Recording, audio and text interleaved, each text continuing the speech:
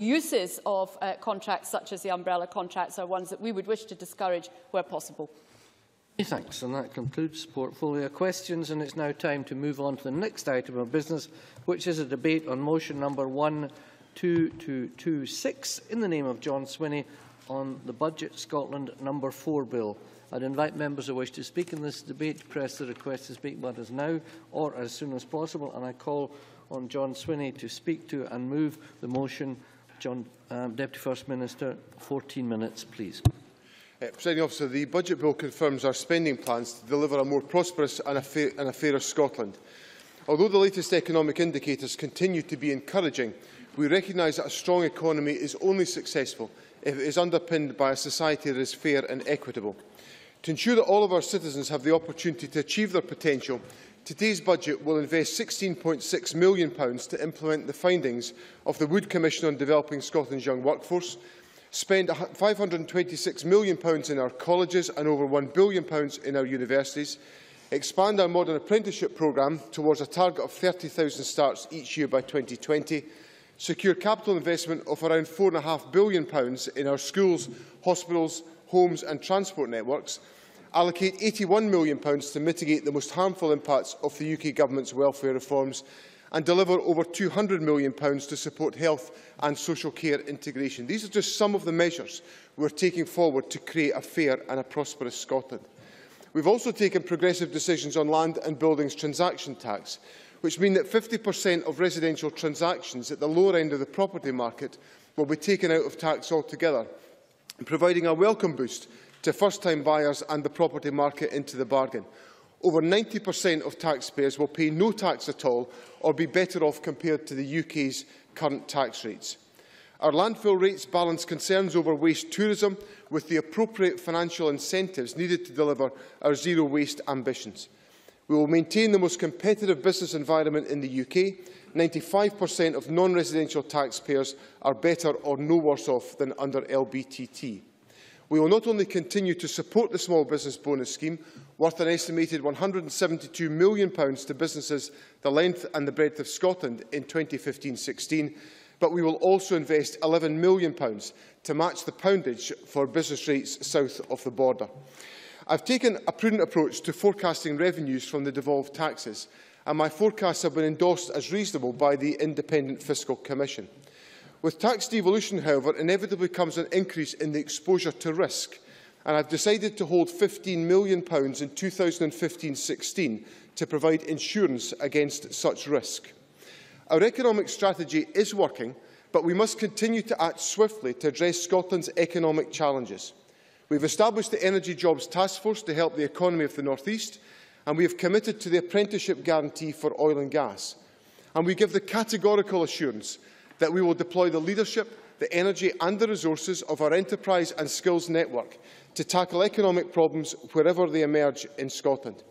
We recognise, however, that in some circumstances the substantive powers to tackle these issues lie out with our control, and I would urge once again the United Kingdom Government to reduce the supplementary charge, invest in exploration credits and back our North Sea oil and gas industry.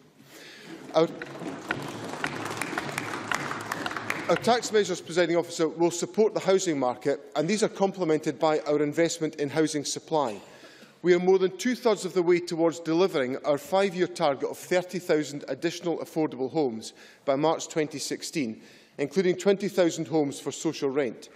But we recognise that within that approach there is more that has to be done to tackle fuel poverty and improve energy efficiency within the housing stock. Over half a million tonnes of carbon and over £200 million in household fuel bills will be saved over the lifetime of the measures installed through our programmes in 2013-14. Improving energy efficiency not only helps to address both social and environmental inequality, it can also improve our housing stock and support our economy by creating and sustaining employment. That is why we're already investing £94 million in 2014-15, a higher level of funding than ever before. However, too many people are continuing to struggle with the cost of heating their homes this winter. Having listened to points raised by parliamentary committees, I can announce that we will increase investment in domestic energy efficiency by £20 million to provide a total budget of £114 million in 2015-16. The extra £20 million of investment announced today gives clear and powerful impetus to our efforts to tackle fuel poverty and it also has a positive impact on tackling climate change emissions from our efforts on housing. Patrick Harvie. Grateful to the Deputy First Minister for giving way and any increase in this area, as we've argued consistently over many years, is welcome. But is the figure of £20 million extra calculated on the basis of what is necessary to meet the fuel poverty targets or contribute to the climate change targets. The, the, the lack of an assessment of what scale of investment is needed is one of the issues that has been raised by us as well as by committees. Deputy First Minister. We are considering the full extent of the scale of investment that would be required to tackle this issue, which is an issue raised with us by the Economy Committee of Parliament. And I wouldn't for a moment suggest that the £20 million that has been allocated today would address all of the requirement in this particular area. But what it is, is a solid commitment by this government to tackle fuel poverty, to tackle energy efficiency and to make a constructive contribution towards the realisation of our climate change targets to which the government uh, attaches great significance. Our efforts on carbon reduction will be complemented by an additional £4 million of capital funding to support cycling infrastructure in 2015-16 and ministers will announce the details of this investment shortly. To deliver a fairer society, we must focus on the importance of creating a culture of fair work. This government has targeted its pay policy at those on the lowest incomes, including through measures such as the Scottish Living Wage. Over 100 companies across Scotland are now accredited as living wage employers benefiting 100,000 individuals, and we aim to expand this number to 150 companies by the end of the year. We will also promote better engagement of employees in business through the establishment of the Fair Work Convention this year. We are pleased with the progress uh, not at this stage. We're pleased with the progress that's been made, supported by the additional funding of £200,000 that we allocated in November to the Poverty Alliance to encourage more employers to deliver the living wage in Scotland. But we are determined to do all that we can and announced today that I will allocate an additional £200,000 in 2015-16 to support further progress in our Fair Work objectives.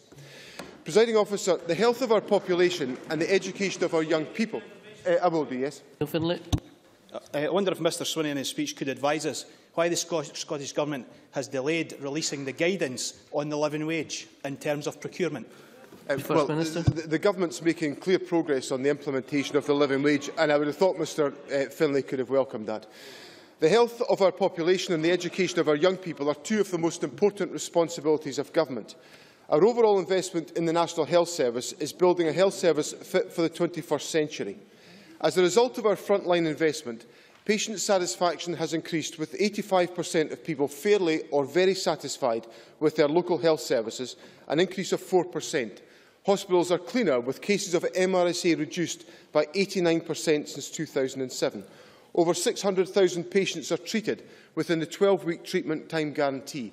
Full-time NHS staff numbers have increased by over 9,600 under the SNP government, and figures released this week for accident and emergency waiting times show 9 out of 10 people were seen within four hours between October and December 2014 and 99% of all A&E attendees were admitted, discharged or transferred within eight hours, a record that is better than performance in England, Wales and Northern Ireland.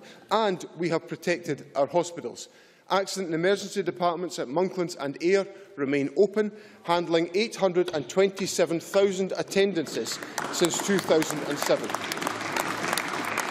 We will sign contracts for a new Edinburgh Royal Sick Children's Hospital and a Dumfries Galloway Royal Infirmary this year. And last week, NHS Greater Glasgow took ownership of the new £842 million Glasgow South Hospital that will transform the delivery of acute health care in the west of Scotland. This has been achieved by our commitment to the National Health Service, by the hard work of every member of NHS staff and through the fair funding of Scotland's health services. In October, I announced that not only would we pass on the £202 million of consequentials to the NHS, but that we would invest more. We have now gone even further. A vote for the budget today will see an additional £127 million of extra spending for frontline healthcare in our National Health Service, taking our additional investment for 2015-16 to £383 million. The Health Secretary has already confirmed that £98 million of those additional resources will boost the funding for territorial boards and tackle delayed discharge. I can further announce today that the balance of this extra spending will be used to establish a performance fund of £31.5 million in 2015-16 to improve the quality of care and to reduce waiting times. Scotland's health service will continue to have the benefit of a government that supports it and that funds it properly. Presiding officer, our frontline fund for the National Health Service is not £100 million, it is over £12 billion. That is real investment in the National Health Service.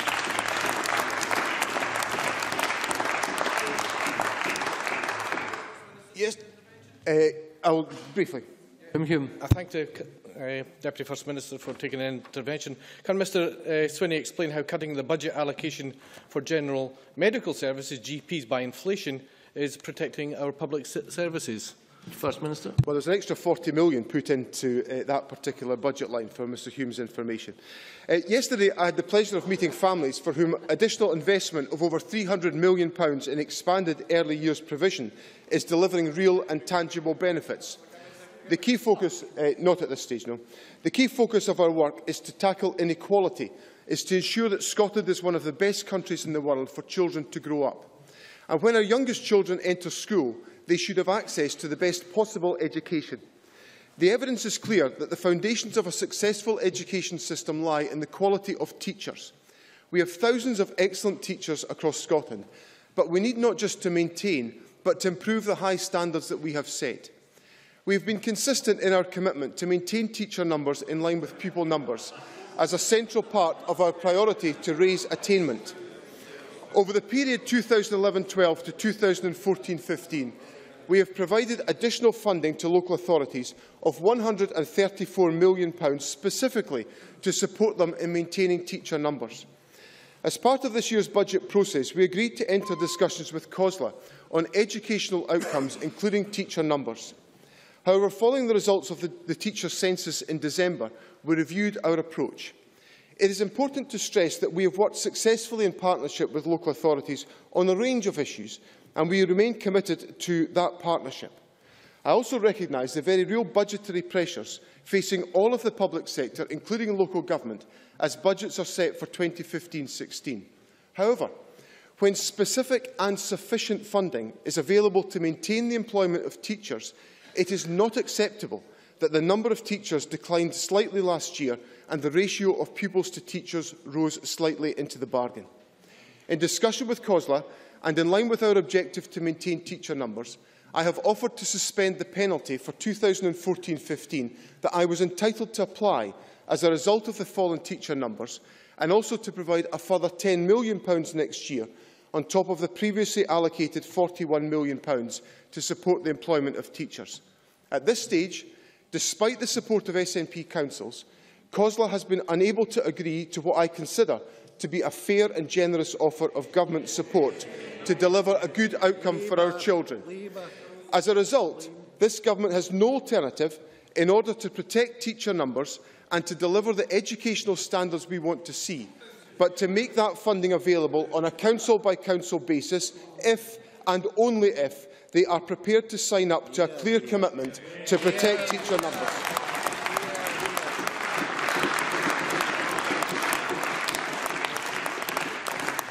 40, 41, 41 million pounds is available at the start of this financial year as planned. However, let me be clear. Any council which does not make that commitment and demonstrate that it can be achieved will have their share of the £41 million clawed back before April. For those who share our ambition to maintain teacher numbers and deliver on their commitment, a further £10 million is available following the teacher census in December. However, a failure to deliver will result in a further clawback of funding. So to each of Scotland's 32 local authorities, let me say this. My door is open. I therefore call on each council to make that commitment, access the resources we have made available and deliver the teachers that our children yeah. deserve. Yeah.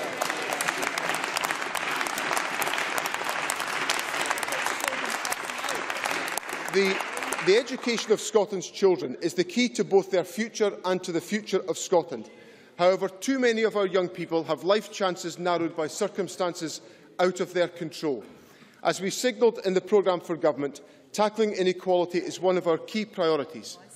I am today announcing the first tranche of additional funding to tackle educational inequality within Scotland. This government will provide £20 million in the coming year, to be followed by further funding in next year's budget, to focus minds and efforts on supporting those in education who face some of the greatest challenges. Further details on this announcement will be set out shortly. Presiding officer, this budget provides new affordable and energy-efficient homes, as well as support to first-time buyers looking to enter the housing market and assistance to people as they progress up the property ladder. It supports our economy through investment in education, a supportive business environment and by removing obstacles to people getting into work. It delivers the social wage, protects household incomes and our high-quality public services, and it provides funding of over £12 billion for health.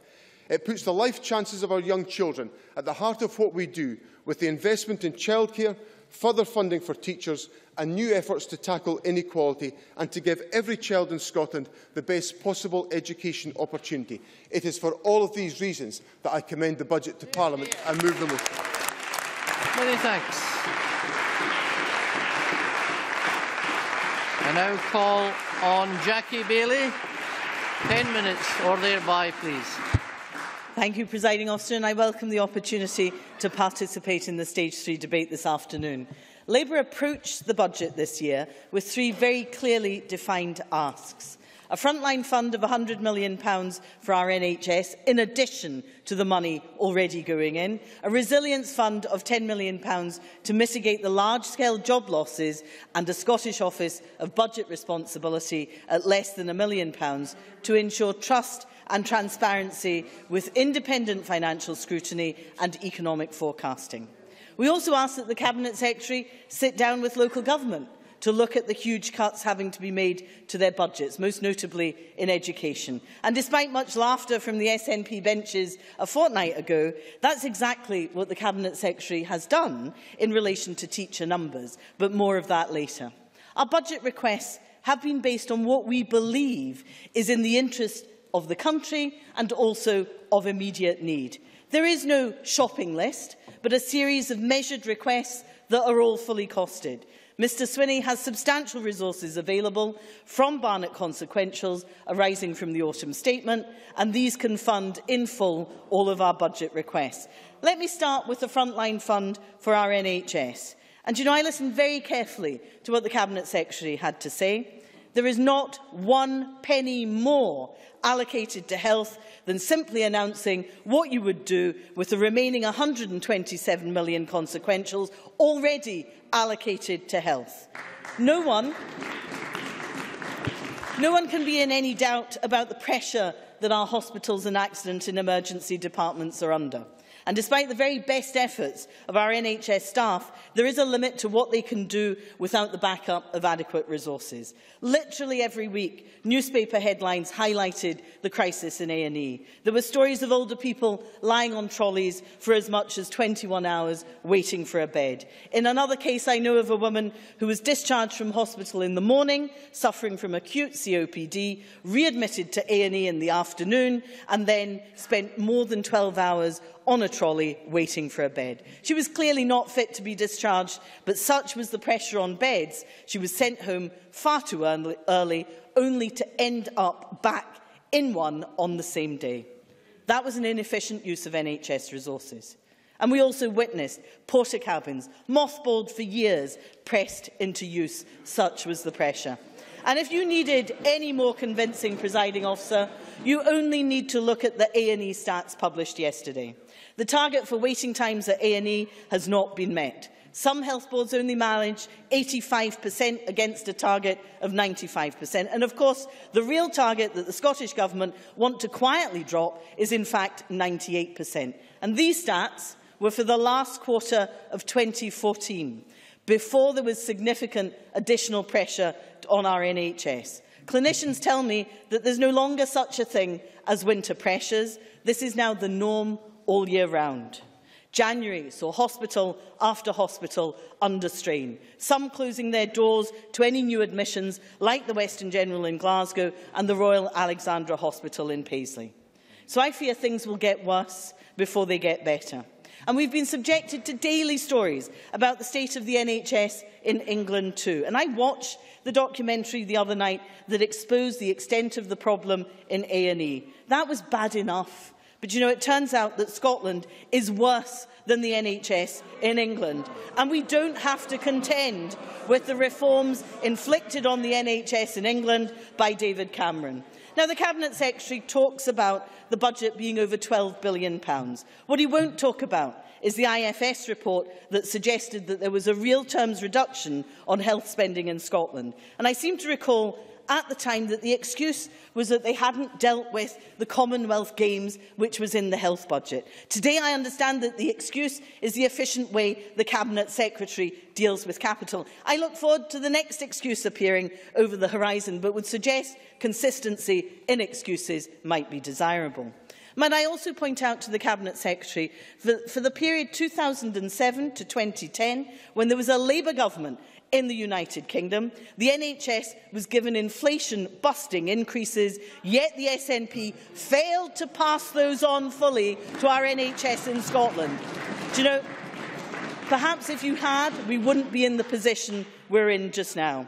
Our NHS Frontline Fund would help move the hospital to some evening and weekend working so that elective procedures can be carried out at weekend diagnostics in the evenings, making best use of our hospitals and easing the pressure on A&E. I'm told that the Scottish Government will review the position, but the truth is we've had reviews. We've even had pilots, at least four in different health boards in 2013, and since then we've had silence. The need is self-evident, the time for review is past, the time for action is now, and there is not one new penny allocated by the Cabinet Secretary today. Let me turn to education because I have highlighted the very tight financial settlement given to local government and the particular impact this is having on the delivery of education. And whilst I am pleased that the Cabinet Secretary has engaged in discussion with COSLA about maintaining teacher numbers, it clearly is the case that no agreement has been reached and he has imposed a deal. Now, I think that's a first. I think the concordat that he signed up to now lies in tatters. But the terms of Mr Swinney's offer are curious. I think the original letter said 8 million. I heard him say 10, so I take that as an improvement. But one local authority said it just wasn't enough, that the amount they would receive and it wasn't a Labour-controlled local authority, the amount they would receive doesn't even cover the advertising bill for new teachers. He also talks about sanctions being applied collectively. Order! Which would be administratively difficult to do, never mind being unfair. And most bizarre of all is the SNP's starting point. Their baseline is 2014, where the teacher-pupil ratio got worse, where the number of teachers fell even further. So he is accepting and building on failure. John Swinney. Her, her comments, would Jackie Baillie do something helpful? And encourage Labour councils to protect teacher numbers. Jackie Baillie. Order. Jackie Baillie. Our position is to maintain teacher numbers. The SNP, of course, promised to do just that. Yet you have failed miserably. We now have almost 4,500 fewer teachers in Scotland today than when you took charge. And in that time, according to SPICe, Spending on education, which showed a steady increase from 1999, has levelled out since 2008-9. Indeed, the government's own figures supplied to the Education Committee show a fraction of a percentage increase that is, in effect, a real terms reduction in school spending. We believe that education is a key tool in the battle against inequality. It is perhaps one of the most significant opportunities provided over a person's lifetime that enables you to overcome inequality. Yet the SNP have presided over a cut in teacher numbers, a cut in college places and a decreasing number of students from the poorest backgrounds accessing university. The SNP's approach to education actually entrenches inequality. Let me turn, presiding officer, to the Resilience Fund. There can be no doubt that we're witnessing, um, in a second, there can be no doubt that what we're witnessing in the North Sea, with the drop in oil price, has the potential to have a significant and negative impact on the economy of Scotland. The scale of the job loss could exceed the scale of loss at Ravenscraig. Only this week, we heard that Shell were drawing up plans to close the Brent field. BP were making millions, billions indeed, of pounds of spending cuts due to the drop in oil prices. 133,000 jobs in the northeast of Scotland are supported by the oil and gas industry, and that includes 46,000 in the constituency of Gordon, where Alex Salmond is standing. There may be the risk of an economic, economic tsunami in the northeast but all of Scotland will be badly affected. The potential loss of jobs is bad enough, but the loss to public revenue is of the order of £6 billion. Let's make that sum real. That's the entirety of the school's budget for the whole of Scotland. Yet the SNP's response has been so slow, it's been positively glacial. Both the UK and Scottish governments need to do much more to help one of Scotland's key industries. Finally, presiding officer, I want to touch on our call for a Scottish Office of Budget Responsibility. This is about building trust and transparency into the forecasting of the nation's finances. And as the Smith Agreement transfers even more powers over taxation and welfare to this Parliament, we need to be sure that our scrutiny inspires confidence. A body that is wholly independent of government, able to bring oversight to our public finances and economic forecasting in a way hitherto unseen. Can I say finally, presiding officer, I am genuinely disappointed that John Swinney doesn't appear to have listened to any one of our proposals. There can be no denying the need that lies behind them. Our approach has been measured, it's been proportionate, it's been costed, the money is there. It would, however, appear that rather than work together, if the proposal comes from Scottish Labour, the SNP will put party interests before the interests of the people of Scotland. Many thanks. Order! I now call on Gavin Brown, and before I do, can I encourage everyone to follow the good example of the Deputy First Minister to make interventions standing up, not from a sedentary position. Gavin Brown. Thank you, uh, thank you, Deputy Presiding Officer. Let me then begin, I think, with what the, First, the Deputy First Minister ended with, and that's education. And while I wasn't privy to the detail of the discussions between the Scottish Government and COSLA, I cannot help but think that the education of our children in Scotland will be best served if all levels of government work together to achieve outcomes instead of using a budget speech as a platform for creating a turf war with COSLA.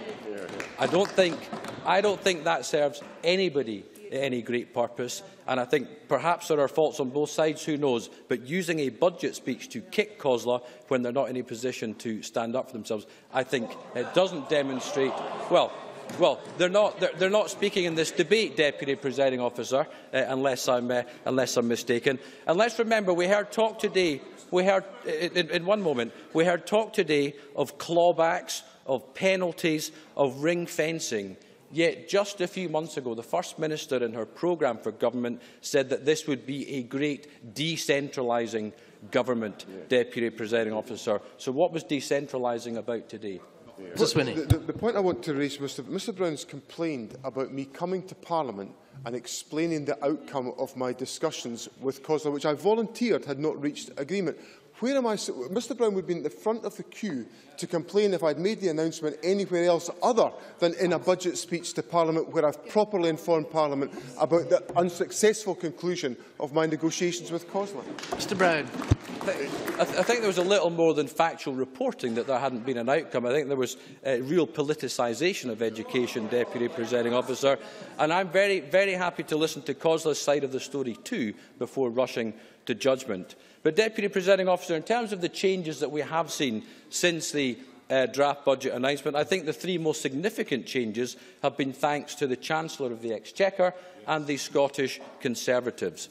We see, we see, we see money flowing to health from Barnett Consequentials through the autumn statement, £127 million worth. We see business rates increase being capped at 2%, again thanks to George Osborne. Despite the Scottish Government saying they had no plans to do this when they were asked about this in November. And of course, we see changes to LBTT. They go nowhere near far enough in our view, but we do see a 5% ban, which is a significant improvement on what went before. But, Deputy Presiding Officer, we do have two big concerns about this budget. The first one is the impact on the housing market from the land and buildings transaction tax. It is, Deputy Presiding Officer, a tax on aspiration. It is an extra obstacle, making it harder for families to own their own home, and the eye-watering 10% rate still kicks in at £325,000 compared to £925,000 under stamp duty. We're concerned that this will have a negative impact on the housing market. You need movement and activity at all rungs of the ladder, and if you hit and punish one section of the housing market, that can have an effect on all other parts of the housing market.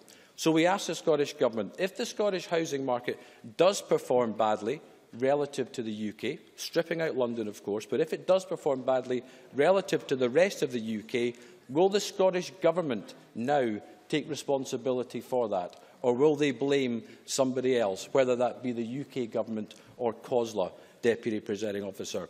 Our preference was for a tax cut in this area, but we certainly expected the Scottish Government to, de to deliver on its own principle, which they said was revenue neutrality. But the definition of revenue neutrality appears to have changed over time, Deputy Presiding Officer. Initially, back in October, it was raising no more or less than the taxes that they replace, which, according to the Scottish Government, for residential LBTT is £198 million. Definition two was it was enough to cover the block grant adjustment. And then definition three, which appeared more recently, enough to cover the block grant adjustment and put money into a cash reserve. We hear today that's going to be £15 million. But doing definition three isn't revenue neutral, Deputy Presiding Officer. In the real world, that's known as a tax increase. And that's one of the reasons why it will be impossible for us to support this budget today at stage three. Because for the Scottish Government, revenue neutral means exactly what they choose it to mean at any given time. Nothing more, nothing less. But we can put some numbers on it, Deputy Presiding Officer. They say they need to collect £231 million. But when SPICe run the numbers, drawing on the same data source, SPICe say this will collect £242 million. But that's based on just 84,000 estimated transactions. We know from another department within the Scottish Government they are predicting 100,000 transactions over the next financial year. So if 84,000 gives you £242 million, I just wonder what 100,000 transactions will actually give you over the course of the financial year. And is this really just a designed tax increase which the government can use to put into their cash reserve or their war chest, but one which could impact negatively on the housing market and the wider economy as a whole. Deputy Presiding Officer, I only have 20 seconds or so left, so I'm afraid I'm not able to give way. But we are uh, concerned about the impact we'll have on the economy, particularly the housing market, but on business rates too, where we see um, Things like the retail levy came into force, the empty property tax and the failure to implement a retail bonus. Slowly but surely, the advantage we did have is being eroded away. And for that reason, Deputy Presiding Officer, uh, we will not be supporting the budget at decision time. Thank you. Many thanks. We are extraordinarily tight for time today. Up to six-minute speeches would be welcomed. I call on Mark McDonald to be followed by Jenny Marra. Thank you very much, Presiding Officer. It's clear today that once again Mr Swinney is looking at protecting the front line despite the austerity measures that are being imposed upon Scotland. The additional money for the health service is welcome. And let us be clear about this. Um, the NHS is a vital service which all of us at some stage in our lives will rely upon. And it is therefore important that that investment is protected. Now, what we are seeing from the Scottish Government is uh, spending in the health service going above £12 billion, and we are seeing that protection of the revenue budget. In particular, in my own area in the northeast of Scotland, there is welcome news for NHS Grampian as a result of this. And the way to test what the public opinion is of how the health service is operating is to look at patient satisfaction in terms of patient satisfaction with the National Health Service. And we see in, uh, in terms of the health service as a whole and also in terms of accident emergency, high patient satisfaction levels, in particular patient satisfaction levels in relation to accident and emergency above those of England and of Wales. So what we see is a strong record for the health service that is being bolstered by the investment that Mr Swinney is putting in. And the Labour Party stand up and call for a, a £100 million frontline fund set against a £12 billion plus budget. The money which is being invested in the health service is frontline funding. It is there to provide funding for those frontline services on which people rely. And I don't seek to diminish the individual cases that many of us receive as politicians, because we do receive cases of people who, in our constituencies where, for whatever reason, the health service has not performed to the standard that we would expect it to. That won't change irrespective of the funding levels that are thrown, because it is a human organisation and human organisations will have errors which will occur. The key thing is to ensure that for the overwhelming majority of people going through our health service, that the support is there to ensure that they get the best treatment that we can give them, and that is what this government is seeking to do. On, on the issue of, on, on the issue of, maybe a little bit later, but I've, I've got some progress that I want to make. Uh, on the issue of teacher numbers, I think that what the Cabinet Secretary has done is entirely appropriate. It is clear that COSLA is unable now to speak on behalf of all of local government because it has been unable to come to the table on behalf of local government and strike a deal with the Cabinet Secretary.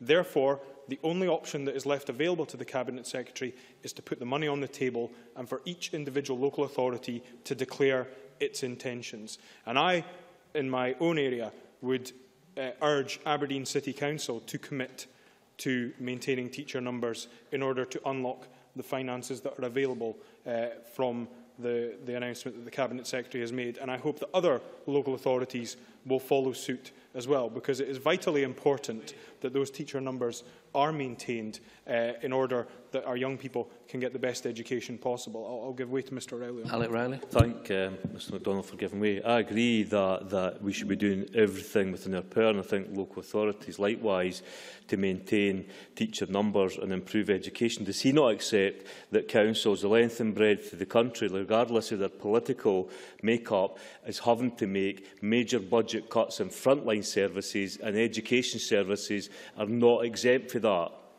that? I, I'm always interested by the Labour Party narrative because, on the one hand, they're all for uh, local decision making and the flexibility for councils to make their own decisions. And what this government has done across the piece in local government is to remove large amounts of ring fencing that existed prior to 2007. But in certain key areas where we have agreed key national priorities, it is, I think, entirely appropriate that councils have to fulfil their part of the bargain. And Mr Rowley was on the local government committee at the same time as I was when we had Labour-led local authorities saying they wanted flexibility over teacher numbers. And not flexibility to put teacher numbers up, flexibility to cut teacher numbers. I don't think that's acceptable. And I think the message is clear here that local authorities absolutely have to commit to maintaining teacher numbers. And if they, if they wish to, uh, within the budgets that are allocated to them, go further than that, that's fine. I'm all for that. But they, at the very least, must take the money that Mr Swinney has put forward and commit to maintaining those teacher numbers. In terms of my own area in the northeast of Scotland, I mentioned the, the uh, situation at NHS Grampian, where, thanks to the investment decisions of this government, we now see NHS Grampian receiving its population share of funding, something which was never delivered by the Labour Party when they were in power. And that will be welcome both by those staff working on the front line and by those patients in the northeast of Scotland who rely on the health service. But also in terms of Aberdeen City Council, receiving the highest cash increase of any local authority in Scotland. But beyond that, tomorrow when the Council sets it bu its budget, it will do so in a situation where, uh, while Audit Scotland recommends that Council should hold 3% uh, of their revenue uh, in reserve, Aberdeen City Council is holding over a quarter in reserve, some £116 million held in cash reserves. I'm calling on the Council not just to use the additional money from the Scottish Government, but also to use that money to protect frontline services and invest in preventative expenditure. And finally, in my last 15 seconds, Presiding Officer, I wish the Labour Party would clarify, and Jenny Marra is next, so she can clarify for us, is this a general resilience fund or is it, as she said on the BBC just before the budget debate started, an oil resilience fund? What is this resilience fund that Labour are proposing? Is it a general fund or is it, as Jenny Marra labelled it earlier, an oil resilience fund? Let's have the answer. Many thanks. Now call on Jenny Marra to be followed by Linda Fabiani. Up to six minutes, please. I'm always very happy, presiding officer, to provide Mark McDonald with the answers. And if he'd been listening to our debates throughout the budget, he will know that we are proposing a resilience fund for industries that are under strain. And currently, if he was paying attention to the news in his own home region of the North East, he would know that the oil industry, as Jackie Baillie uh, pointed out to today, is under severe strain and therefore therefore, that resilience fund would initially be used to support the oil industry. Presiding officer, I'd like to, if, unless Mark McDonald has more questions for me, I'd like to, uh, to turn to uh, the health service. Presiding officer, yesterday the government published its accident and emergency figures. Not something they do very often, however, far less than in England, and we are no, still not sure why that is because the government in England publishes its A&E statistics weekly, so patients and families up and down the country can see how their National Health Service is performing. But the Health Secretary here in Scotland says she's been advised by her own agencies to publish far less often than that. And yesterday we found out why. We also found out, yes, Marra is aware that in order to be part of official statistics release, You have to make sure that it's not subject to political interference. Is she suggesting that we should politically interfere with the way official statistics are released? I think she should clarify that very carefully indeed. Jenny Marra. Suggesting that, um, that Shona Robison, who gave the intervention, is the Health Secretary and it is her job in the interests of the Scottish people and the Scottish NHS to make decisions about how information is published, on what basis, how often, in the interests of transparency. If she's saying to me she can't overrule civil servants and agencies, then I, I think that's a very, I think that is a very weak. I think that, I think. Order. I think that's quite a weak position to be in. We also, we also found out why the SNP last week decided to downgrade their A&E waiting time target from 98% to keep it at 95%. We thought 98% might be difficult when this announcement was made last week, but now we discover that 95%, their current target, is impossible in itself, but slipping fast. The figures, presiding officer, were worse than the same period last year. Things are not improving. They are not even staying the same. They are getting worse. Now, we all know there are a few key reasons for this. They are well discussed, both in this chamber, in private meetings and in meetings with all the health stakeholders.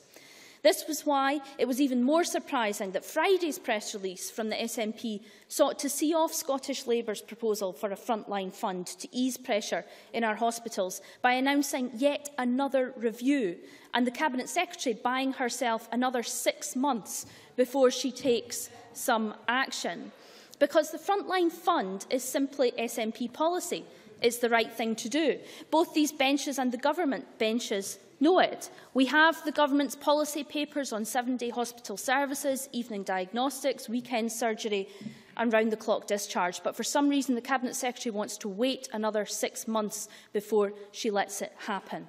And we saw again today that reflected in John Swinney's budget. The money announced is money that has simply been announced over the past few weeks. The 29 million that he said was additional is not actually, but it was health consequentials that were already sitting there.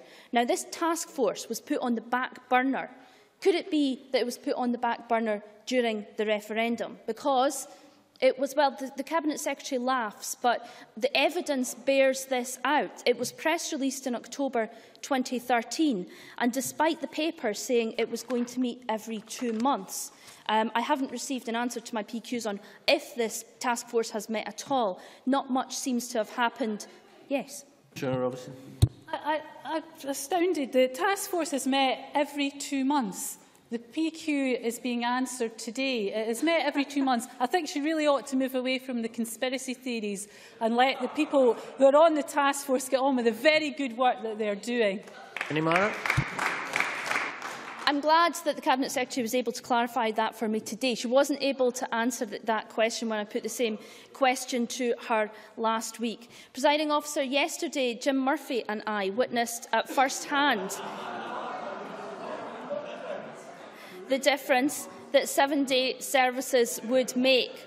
At Monklands Hospital, the, the, A, the, the A&E consultant talked us through the chart that so showed a significant peak into the... No, I think I'd like to make some progress if that's okay. I think you should in your remaining minute. Remaining minute. Thank you, Presiding Officer. The difficulty they face on a Monday when discharges are not made at the weekend, so beds are at a premier, premium when they're most needed on a busy Monday. Presiding Officer, there was no new money in John Swinney's budget today for frontline services, and I ask the Chamber to consider. I'm happy to take an intervention from the Health Secretary if she'd like to go Senator again. Robison. I just wonder if Jenny Marra wouldn't have a bit of self-awareness of the fact that she's talking about an A&E visit that she and her party wanted to close. Will she not congratulate us for keeping it open so that her and Jim Murphy had the pleasure of visiting the excellent facilities at Monklands In your remaining 10 seconds. Presiding officer, there is no new money in today's budget for frontline services in the NHS. I think the Health Secretary knows as well as I do how desperate this situation is and that they need to invest. Many thanks. Now calling Linda Fabiani to be followed by Willie Rennie. Uh, thank you. Thank you very much, Presiding Officer. I have to say, I, I was quite stunned yesterday to see photographs of Jim Murphy standing outside Monklands A&E. I'm even more stunned today to hear that Jenny Marra um, thought it was worth raising that in the chamber today. Because I remember in Lanarkshire fighting an election a couple of years ago, an awful lot of it being based on Labour Party's proposals to close A&Es. But to me, it just sums up what the Labour Party under their new leadership and regime are doing right now, which is let's find an issue, any issue, and have a go with absolutely no self-awareness of the role they played in creating the problem in the first place. And can I suggest that some kind of collective memory kicks in before this goes even further? Because, let me tell you, the people of Scotland are not fooled. They're rolling about their living rooms right now, listening to all the machinations of the Labour Party, not least that all of a sudden the Labour Party are going to make sure we get more powers for Scotland. Well, my goodness, if the Labour Party had been true to that over the last few years, perhaps we wouldn't be having the wrangles over the Smith Commission and the rolling back from it that the Labour Party and the Conservative Party and the Lib Dems and their wee partnership have been doing over the last few years and really sticking up for Scotland. It's the same when I listened to, to Jackie Baillie's analysis of John Swinney's um, opening debate today. There was nothing at all there that said, do you know what? We actually agree with you that equality and fairness should be at the heart of everything we do. We actually agree with you that you should be boosting our small businesses to try and overall improve our economies, improve our communities. We actually agree with you that education is really, really important for our children Yes. Jackie Baillie. I am, I am very grateful to Linda Fabiani, who I don't often disagree with in the chamber, but on this point, um, she clearly wasn't listening. I talked about education as being a key tool in tackling inequality and the importance of education. Will she therefore revise her comments? Uh, no, I, I won't preside an officer because Jackie Baillie belongs to the same party that's currently paying off teachers in Glasgow, redu sorry, re maybe I'll take back paying off, reducing teachers and numbers in Glasgow, raising class sizes. She's in the same party as those that are running South Lanarkshire that haven't even got their budget through because the SNP group are saying they shouldn't be increasing class sizes and reducing teacher numbers. So perhaps the Labour Party should get together and talk about their vision for this country instead of being all over the place the way they are. They should start welcoming the fact that um, an A&E was kept open in Lanarkshire and that therefore the situation with bed blocking and patient flow isn't nearly as bad as it might have been if the Labour Party had had their own way. Welcome the fact that extra funding has been put in to tackle delayed discharge. Welcome the fact we're starting to have a joined-up approach to social care and hospitalisation for our elderly. Welcome the fact that this government believes that education is so important for children that we are taking steps in this party to make sure that no child in Scotland should be unfairly disadvantaged because of the political machinations of whatever group happens to be running that area. Can I also suggest that perhaps welcoming the fact that we are trying to address fuel poverty and domestic energy efficiency, because that has been an ongoing issue for many, many years in this country. And most of all, could I perhaps ask that the Labour Party welcome the fact that some of the reduced budget that comes to Scotland is being spent on mitigation of welfare policies that are hammering people absolutely hammering people right across this country. I think no thank you. I think we've heard enough from the Labour Party. They can't even welcome free education in the higher education sector. They can't even welcome free prescriptions, free medical attention at the point of need.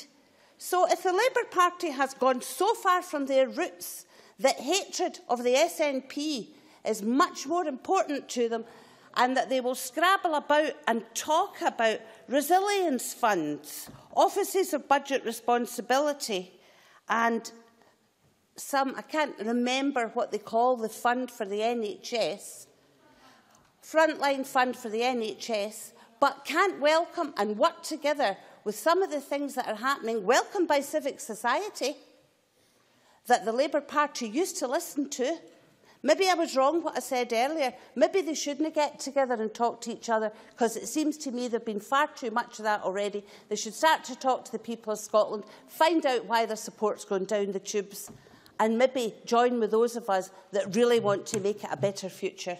Thanks very much. Now call on Willie Rennie to be followed by John Mason. Up to six minutes, please. Thank you, Deputy Presiding Officer. The context of this budget is one of an economy in recovery. There are now 168,000 more jobs in Scotland since this UK government came to power. Employment is up more than ever before. GDP is up above the level from before the recession and unemployment is down. And we should remind ourselves that that is all based on a plan that those on the SNP benches and the Labour benches said would not work. And whilst the economy is in recovery, the NHS is in crisis. It's not a word I like to use frequently, but that is exactly how we have to describe the NHS as we see it today. And I have to say the remarks from John Swinney and Mark McDonald showed a creeping level of complacency about what the NHS is facing just now. For those, not just now, for those who meet NHS workers on a regular basis, we understand that the enormous pressures that they are under just now, partly through demographic changes, but also partly because the SNP took their eye off the ball during the referendum. They were distracted by their obsession with independence, and as a result, we are seeing the price that has been paid by our hospitals. So as I say, I do not look, like to use, not just now, I do not like to use the word crisis, but there is no doubt that after we have seen the figures on A and E waiting times this week, where they have plunged below the level that is in England, that the NHS is in crisis, not just now.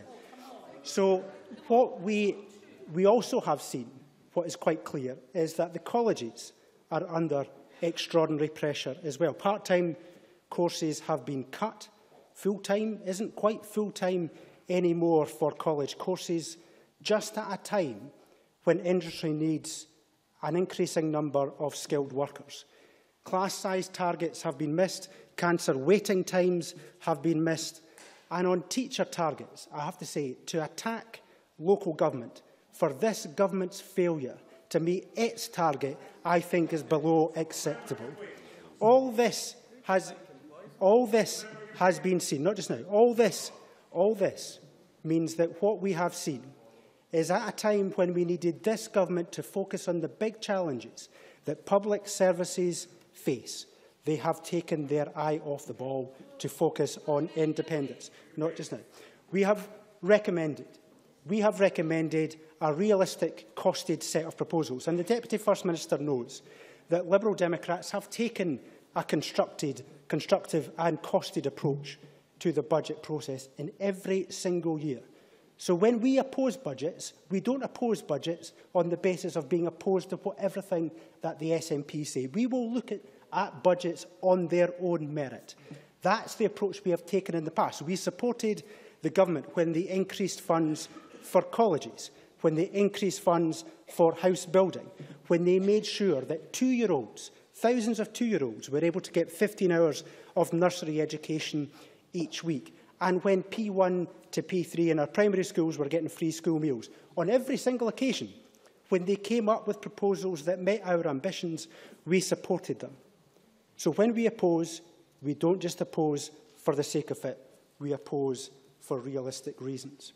And our proposals this year, again, were realistic and costed. We wanted the NHS to get the investment that it needed, included, including for mental health. We wanted all the Barnett consequentials unlike in previous years, to be transferred right over to the NHS. We also identified that funds from the Pharmaceutical Price Regulation Scheme, additional funds that the Scottish Government have received for that, should be spent on mental health. Our second recommendation was to make sure that childcare matched the level of support that two-year-olds are getting in England. 40% there, only 27% here. Two-thirds of the way there, but still a bit of a way to go, because we know that is the best educational investment that we can make. Our third was on student loan repayment thresholds. In England, in England, graduates only start to repay their loans once they earn £21,000 a year. In Scotland, that figure is down to £16,950. We believe that that is a price that graduates cannot afford to pay, and therefore we should be giving them the extra support. Mr Swinney, to his credit, has said that he is investigating the matter and we welcome future discussions about that matter. And then on colleges. Colleges have been at the forefront of the SNP's cuts in recent years. And we still, with this year's coming budget, we do not see it back up to the level that we had in 2011-12, when it was at £544 million. That's a big shortfall, and that's the price that students are paying as a result. So these were the reasonable tests that we set the SNP government this year for the budget. And I'm sorry to say they have not met the test that we have set. So therefore, we will be unable to support them in this budget. They took their eye off the ball in the referendum. We have now seen the price that people are paying as a result Order, of that. That is something that we believe is unacceptable, and that's why we will not be supporting the budget today. Thank you. Many thanks. I now call John Mason to be followed by Malcolm Chisholm. Uh, thank you, uh, Presiding Officer. And can I start off by very much welcoming the extra funding that the Cabinet Secretary has been able to provide, specifically £20 million for domestic energy efficiency, £10 million for teacher numbers, £15 million held back, which is not a huge sum of money, but I think it does send out a good signal as compared to the kind of profligate uh, Labour uh, government we had in the past at Westminster, where they spent all they had and more. And I was somewhat surprised to hear Gavin Brown suggesting that we should be much more optimistic in what we think we're going to get in and spend it before we actually get it. Uh, I do think we should put on record the good management of the budget by John Swinney and the SNP government. Clearly, there have not been the opportunity to date to borrow and get into the kind of difficulties that uh, have been got into at Westminster. But what has been achieved has been capital projects staying very close to or sometimes coming in well below budget, and projects that were in trouble when other people ran them, like the trams, getting sorted out when they were taken over. and revenue expenditure, it has to be said, staying remarkably close to the budget. And all of this, I think, bodes well for the future when we have more powers. If I can also mention some welcome projects in my own constituency, uh, recently Garrowhill Primary School opened, uh, which is thanks to both the Scottish Government and Glasgow City Council. And also in the last month, we have seen the Games Village starting to be occupied by both owner-occupiers and tenants. This is great news for local folk as well as incomers and is certainly boosting the East End of Glasgow. So sometimes I think it's good that we remember past budget decisions when we are now beginning to see the fruit of them.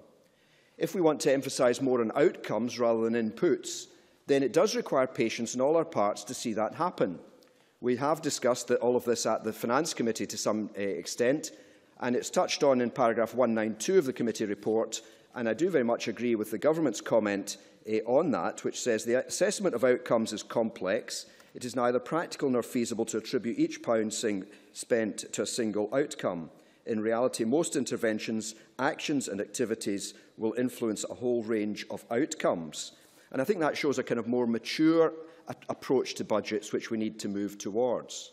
I can also say I very much welcome the commitment to future funding, especially of affordable housing of £390 million, which I think is an increase of 21% over the current three-year period. Now, of course, when we look at budgets, we all have to accept that we make choices. And if there's going to be more for the NHS, then there has to be less for something else. And again, I do not think we've heard very much of that this afternoon. We can all see where money, more money could be spent. And for example, this week on Monday, I met representatives from the National Union of Students and discussed their concerns about the college bursary system. Some students who are clearly struggling financially.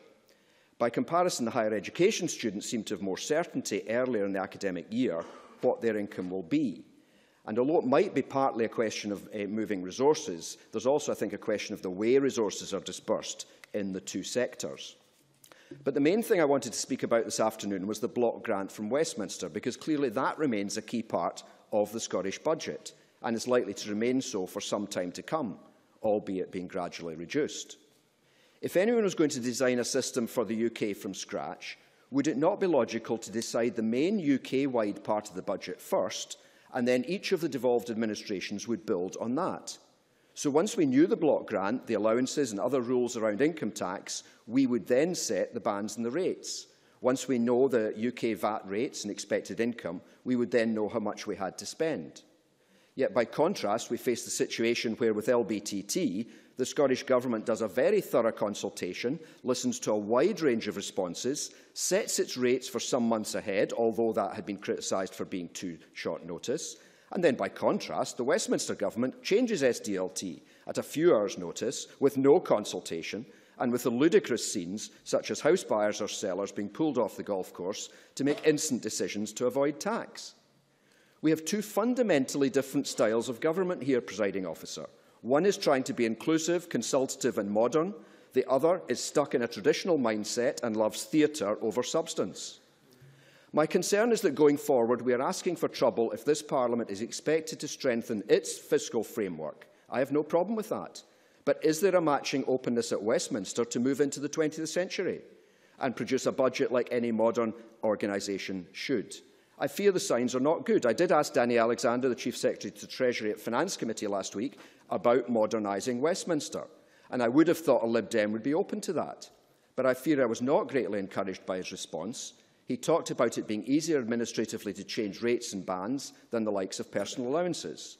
But is that really the basis of how the UK or Scotland should set its budget? Ease of administration?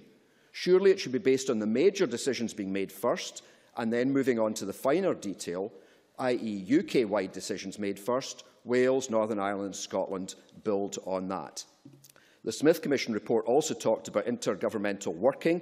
There's a very good quote on page 5, which I probably don't have time uh, to read out, but it does talk about the concern about needing a better relationship, greater respect between the two. But if we are going forward where broadly Scotland sets its budget first and then Westminster has the opportunity to play games and catch Scotland out, how can that be productive or mean greater respect? So in summary, I'm very happy to support this budget at stage three. Looking forward, we are likely to face more complex budgets in the future. A major factor will be what actual powers this Parliament is given. But another major factor will be the attitude of Westminster. Do they want the UK to work better, or do they want to build up tensions which will cause problems in future? We shall see. Thank you. I now call Malcolm Chisholm to be followed by Kenneth Gibson. Uh, Presiding officer, this is a historic uh, day when we're setting uh, budget uh, tax rates for the coming year, as well as uh, hearing from the government uh, what they're going to spend the money on. So I think it's appropriate to spend uh, some of the debate on that first issue. I don't actually dissent from the decisions that the Cabinet Secretary made about LBTT, but I do share some of the concerns that Gavin Brown voiced about uh, our understanding of this tax, and given this is the first of many devolved taxes we're to have, I do think it's important that we have clarity and transparency. I think Gavin Brown had perhaps been reading the same Bill Jamieson article about uh, this, uh, in which Bill Jamieson said, firstly, that few acronyms are more calculated to empty a room these days than LBTT, and then he went on to say MSPs can be excused utter bafflement as to how much LBTT will actually uh, raise, and perhaps the Cabinet Secretary in his wind-up will give some answers on that. I think the problem really does rise in the shifting uh, meaning of revenue uh, neutrality. As Gavin Brown pointed out on the 9th of October, it was raising no more or less than the taxes they replace. Uh, when I questioned the Cabinet Secretary in committee last week, he said it, would be, it was enough to cover the block grant adjustment, and his letter of the 22nd of January to the Finance Committee said the same. But on the very same day in the Chamber, the First Minister said revenue neutrality was enough to uh, cover the block grant adjustment and put money into the cash reserve. So I think we're all still utterly baffled. So if an explanation could come in the wind-up, I think it would be serve the interests uh, of transparency, although no doubt most of us after the explanation will be asking the Cabinet Secretary to explain explain his explanation. Moving on to the spending, I think it's never been uh, uh, more clear or consistent uh, in terms of the demands coming from uh, the Labour Party. There are three. They are the same as they were at stage one. Briefly, uh, £1 million. Uh, the Scottish Government could, should consider the option of, of inviting the F, uh, Scottish Fiscal Commission to produce the official macroeconomic and fiscal forecast for Scotland. That, by the way, is not uh, words from the Labour Party, but from the Finance Committee. So clearly, this whole issue about forecasting has been put on the agenda by the Finance Committee, and Labour is merely articulating that at a specific budget request, which does not uh, amount cost a, a great deal of money.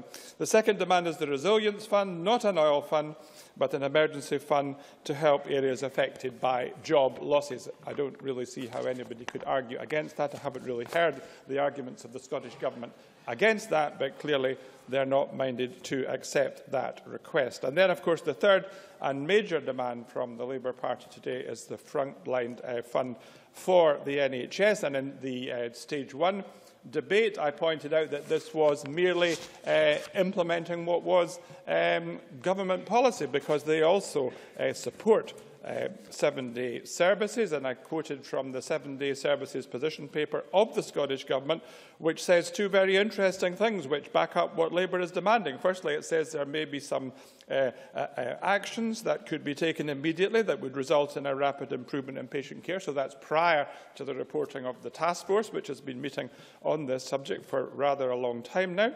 And then among the various suggestions, there was one called spread elective surgery, which is what Labour is asking for.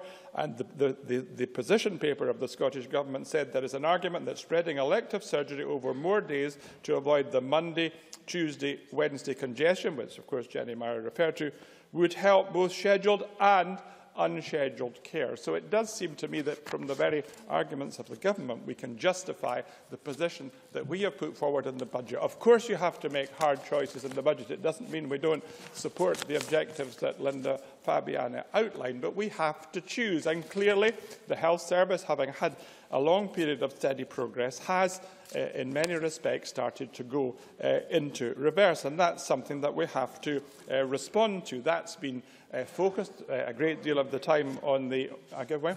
Bruce Crawford. I, I'm just looking, seeking for clarity. I may have missed it, and forgive me, Malcolm Chisholm, if I did miss it.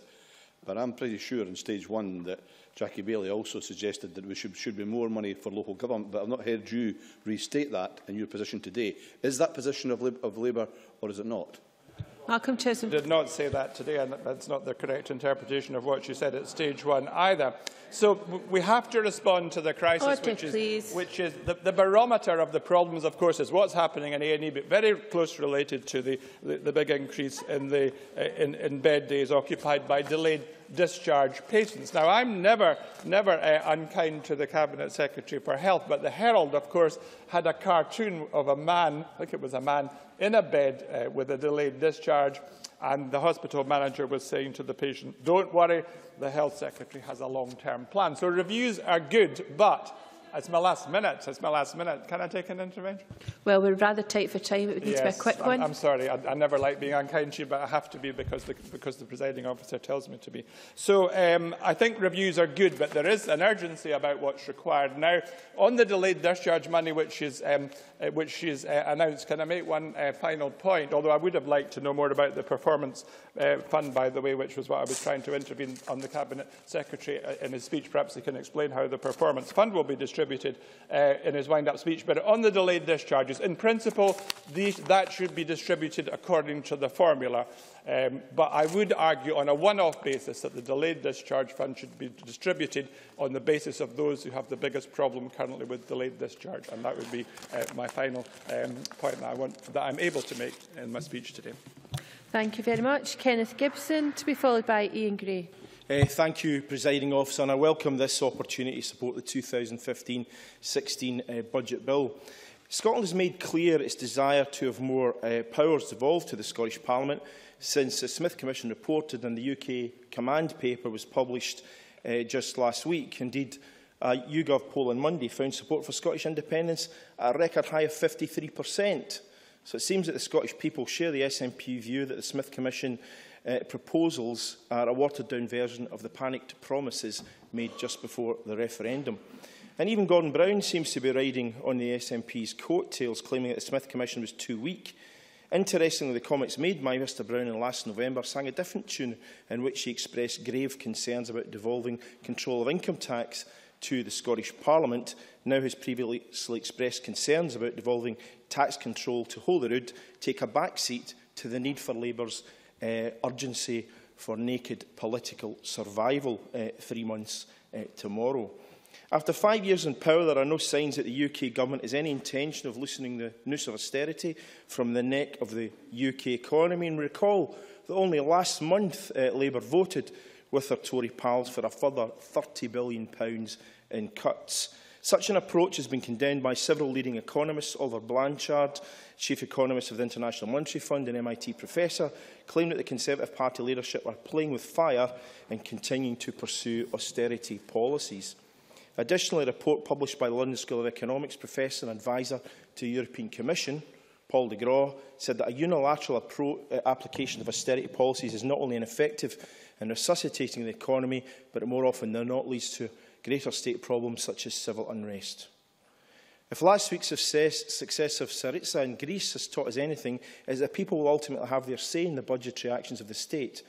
And in a statement published by the Office of Budget Responsibility and Future UK Spending, the OBR announced that, and I quote, between 2009 and 2000, uh, 2010 and 2019-20, spending on public services, administration and grants by central government is projected to fall from 21.2% to 12.6% of GDP and from £5,650 to £3,880 per head in 2014-15 prices. This cut of almost a third of public spending will impact mainly on low-income families with welfare recipients, low-paid workers and pensioners bearing most of the, the brunt. Now, Labour has, has fundamentally contradicted itself time and again, claiming to have Scottish interests at heart while voting for policies detrimental to Scotland and the Scottish people, particularly those most vulnerable to public spending cuts. And as a, gov as a government, it is imperative that the, the SNP government use the economic levers that they do have to tackle inequality. And that's why I'm delighted that in the 2015-16 budget bill, uh, we will deliver welfare reform mitigation of £81 million. Pounds. The Cabinet Secretary's Land and Building Transaction Tax and Scottish Landfill Tax will encourage first-time home buyers, stimulating house building and working synergistically with the additional £125 million investment in affordable housing. And my view differs somewhat from Gavin Brown's in terms of uh, the, the more expensive houses. I think that the, the tax level there will actually uh, serve to dampen house price inflation and ultimately save money even for the people who actually will be paying that additional taxation. The new rates uh, satisfy the principle of revenue neutrality laid out by Mr Swinney in October, and again I disagree with Gavin on that, but in creating a system in which the first £145,000 of every residential pur purchase is tax-free, over 90% of transactions will pay the same or less in taxes on their new homes than under current UK arrangements, as the Cabinet Secretary pointed out. The Scottish Government is of course committed to increasing employment and promotes a burgeoning Scottish economy, And at a time when Scotland has unemployment rates below that for the UK as a whole, I was delighted that this budget will enhance uh, uh, employment by providing £16.6 million to support youth employment through uh, the Commission on Scotland's young workforce. And this budget invests in the public sector, boosting, as we've heard, the NHS by an additional £383 million. So in contrast to George Osborne's austerity measures that are crippling local government in England, The Scottish Government has delivered a fair settlement for local authorities, enabling the delivery of shared priorities such as education, free school meals and childcare. And we note no uh, uh, calls from the opposition parties for additional spending in those areas.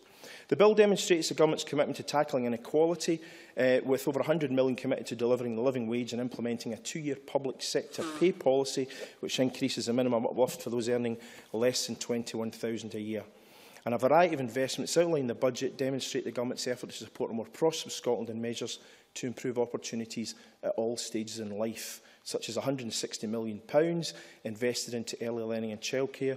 Uh, uh and uh, we'll see, as, as uh, John Mason uh, touched on, an extra £20 million pounds in delivering energy efficiency. Uh, 615 million is being invested to provide the most competitive business taxes in the UK and almost a billion pounds invested in capital projects through the non-profit distribution model. This budget bill uh, is a testament to the SNP's ability to act prudently within the constraints set by UK government in terms of the devolution of powers and Tory austerity measures sadly supported by Labour. In short, presiding officer, this budget augments the Scottish economy, boosts employment, tackles inequality and invests in public services. And we compare that to Labour's irresponsible shopping list. We heard about the 100 million. A figure, to my mind, seems to be plucked from thin air. It doesn't have any detail behind it that I've been able to see. Uh, I, I, I'm no detail of where that money is to come from. But if we look at other recent Labour statements, on the 29th of December, Kezia Dugdale suggested 100,000 new homes be built. In Scotland. Whatever happened to the legendary Glasgow Airport rail link? And Jackie Baillie said on the, 12, on the 12th of November, Joseph £50 million is a small amount of money to pay to cancel Scotland's care tax. So whatever happened to that, I wonder if Ms Baillie could perhaps tell us. They're all over the place on this budget, so I'm pleased that we have a, a, a responsible and prudent Scottish Government that actually can deliver a sensible budget for the people. Thank you very much. Ian be followed by Sandra White. Thank you, Deputy Presiding Officer. Our uh, focus in uh, this budget debate and indeed in the whole budget process this year has been around health and the NHS and there are good reasons uh, for that. It is the single uh, biggest uh, component of the Scottish Government's budget. Uh, it is also currently the most urgent in need of attention given the uh, stories of crisis which we regularly read or hear, particularly around accident and emergency uh, and bed blocking. But It's a natural thing for us to do too, because it was Labour who created the National Health Service. It is the thing of which we are most proud, and we will always defend it first and foremost.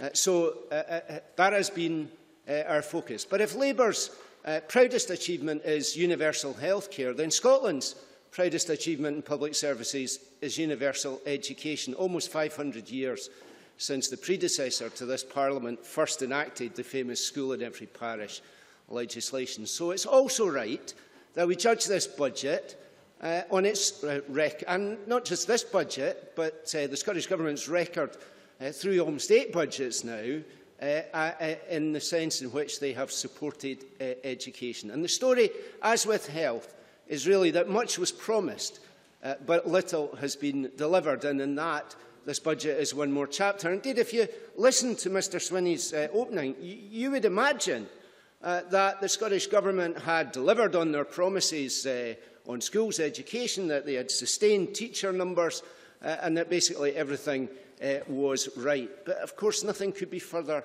from the truth.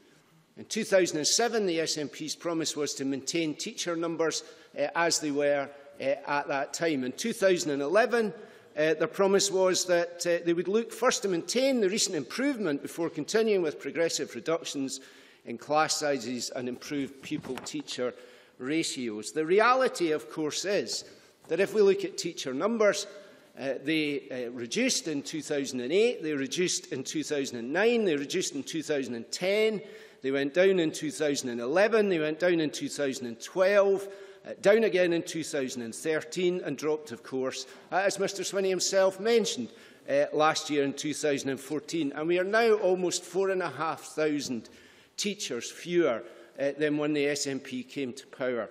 The story on pupil-teacher ratios uh, is the same. A, an improvement, yes, from 2007 to 2008, but every single year after that, uh, pupil-teacher ratios have worsened year on year. And as for the core promise of class sizes of 18 in primaries 1 to 3, when the SNP came to power, 15.3% uh, of pupils were in classes of 18 or less, P1 to 3. That's now 12.9% less. So on every one of these promises, the situation has worsened.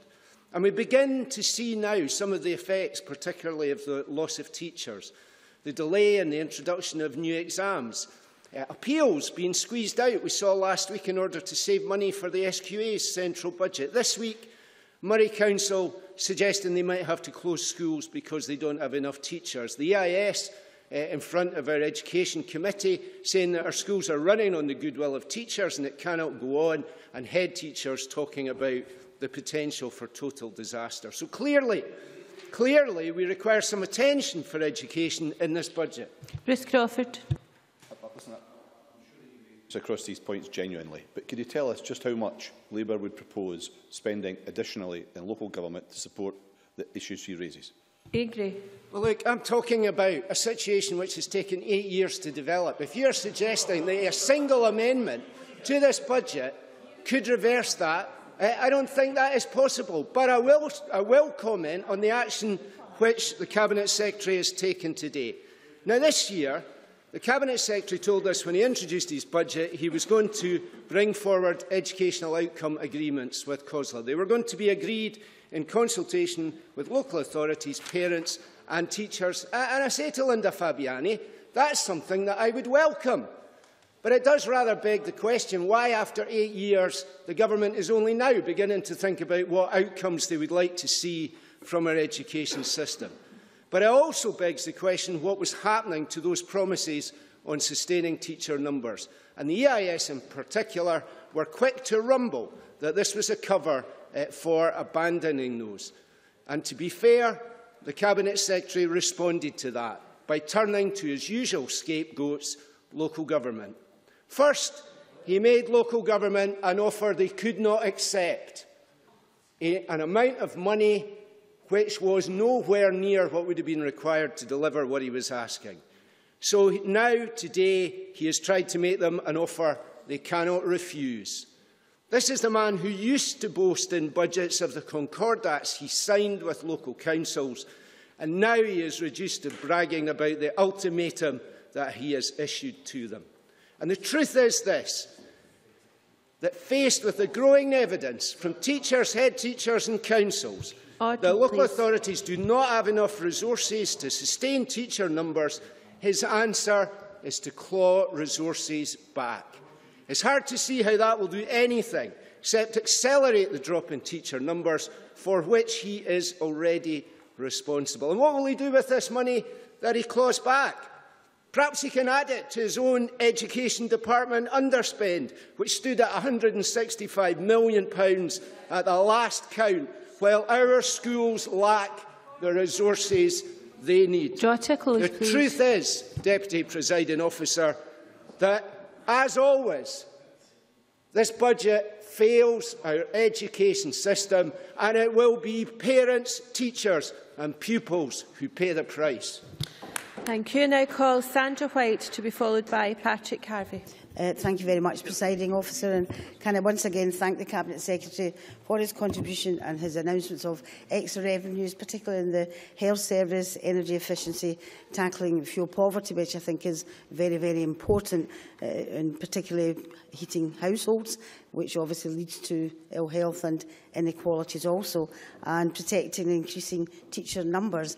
And if I can just say to Ian Gray, whose contribution I listened to very carefully, uh, in the constituents I represent in Glasgow Kelvin is Glasgow City Council is causing the problems with teacher numbers and class sizes And I would really appreciate it if uh, you wish to speak or write to some of the parents of uh, Hillhead Primary School and the situation they find themselves in because of the situation with Glasgow City Council closing schools and not having a big enough school for the pupils. And it is an absolute disgrace. So you cannot blame this government for the, what's happening, particularly in my constituency, it's Glasgow City Council, the blame fully lies upon there. Yes, I agree. Ian Gray. Cannot seriously say that when the Scottish Government make promises to parents and when they then starve local government of the resources they would require to deliver those promises, that it's somehow not their fault. Sandra White.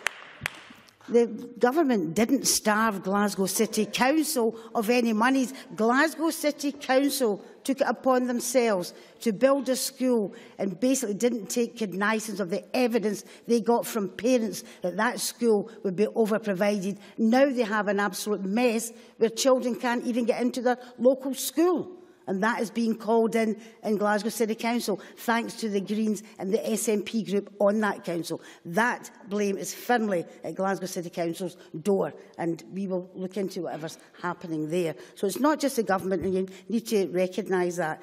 Now, I've listened to the opposition on the health service, and the word crisis, well, Irene isn't here at the moment, the word crisis has been bandied about.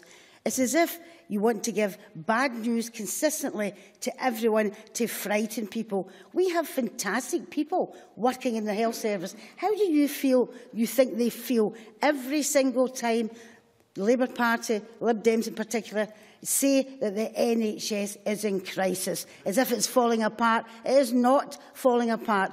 I'll take Alex Rowley. I want to get some figures Alex Rowley. I was interested in Willie Rennie saying crisis. I had a phone call for a lady this morning, arrived at hospital in five, quarter to eight, due to go for a gallbladder operation, got prepped, saw the consultant, saw the anaesthetist, um, was sitting there in the bed clothes, ready to waiting.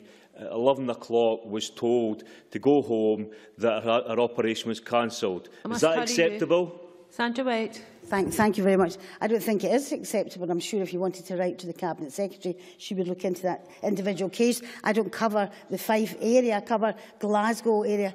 I did answer Mr Gray. If you just let me, Order, let please. me carry on, please. I wanted to let you know about the news, the good news of the health service. And I talk to people in my area too, patients, doctors, consultants and nurses also, and they're not all saying it's in crisis. Now let's look at some of the figures here. NHS consultant numbers are at a record level, 36.8% increase and over 1,300 more WTE consultants since 2006. Overall, NHS staffing is up 7.6%. The number of qualified nurses and midwives is at a record high. The number of NHS consultants, medical and, very importantly, dental, which sometimes gets overlooked, is at a record high. The number of GPs is up 5.7%. senior managers, which, sorry, can I just finish this one, Jackie? Se senior, sorry, Jackie Baillie. Senior managers are down 29.3%, which is something people always called upon. We want people there at the coalface, not just at the man managerial level. Uh, Jackie Baillie, take Jackie Baillie. Sandra White for taking the intervention. Would she accept that vacancies are also up and posts are vacant for much longer? And what we're seeing in the NHS is more people being treated and actually demand outstripping the number of staff that are available. Sandra White. I think it's a good thing that more people are being treated. And the reason that you're saying there's vacancies are up, we're actually having more staff. So obviously more people are applying for jobs. I think that can only be a good thing. It's not that the, the NHS is deteriorating or it's in crisis. It's actually the impression that the opposition parties are giving to the people out there. And I think It's, it's a dangerous thing to do and it's disingenuous, not just to the people out there, but to the staff that work in the NHS as well. And for that, I think, we should really think very, very carefully. I mean, someone else, I think it might have been Gavin, that said basically, why don't we work together? And that's what we've been trying to do. We have listened to people throughout, not just the various parties, but, but throughout the, the country as well. And we're trying to put forward a budget, and I think John Swinney has put forward a very sensible budget. But when you're constantly talking about the NHS in crisis, falling apart, when I've just read out the figures of the increase in the staff that we've got in the NHS, well, I do think it's rather disingenuous, and it does frighten people out there. I'm not saying that's what the opposition parties are trying to do. I wouldn't never say that. But I do think people need to sit and think about it very, very carefully in that respect. I support the budget when the decision time comes, uh, presiding officer. I would think and hope that other parties, other opposition parties, would think very carefully about not supporting the budget. Thank you very much, presiding officer. Thank you very much. And I now call Patrick Harvie to be followed by Bob Doris. Thank you, Deputy Presiding Officer. Uh, this budget, like several recent budgets, takes place in a, a context in which we see continual pressure on public services, uh, particularly those at local government level, and continual public sector pay cuts in real terms, uh, even if uh, the, there have been moves to ameliorate that at the, the lowest end of the, uh, of the wage scale.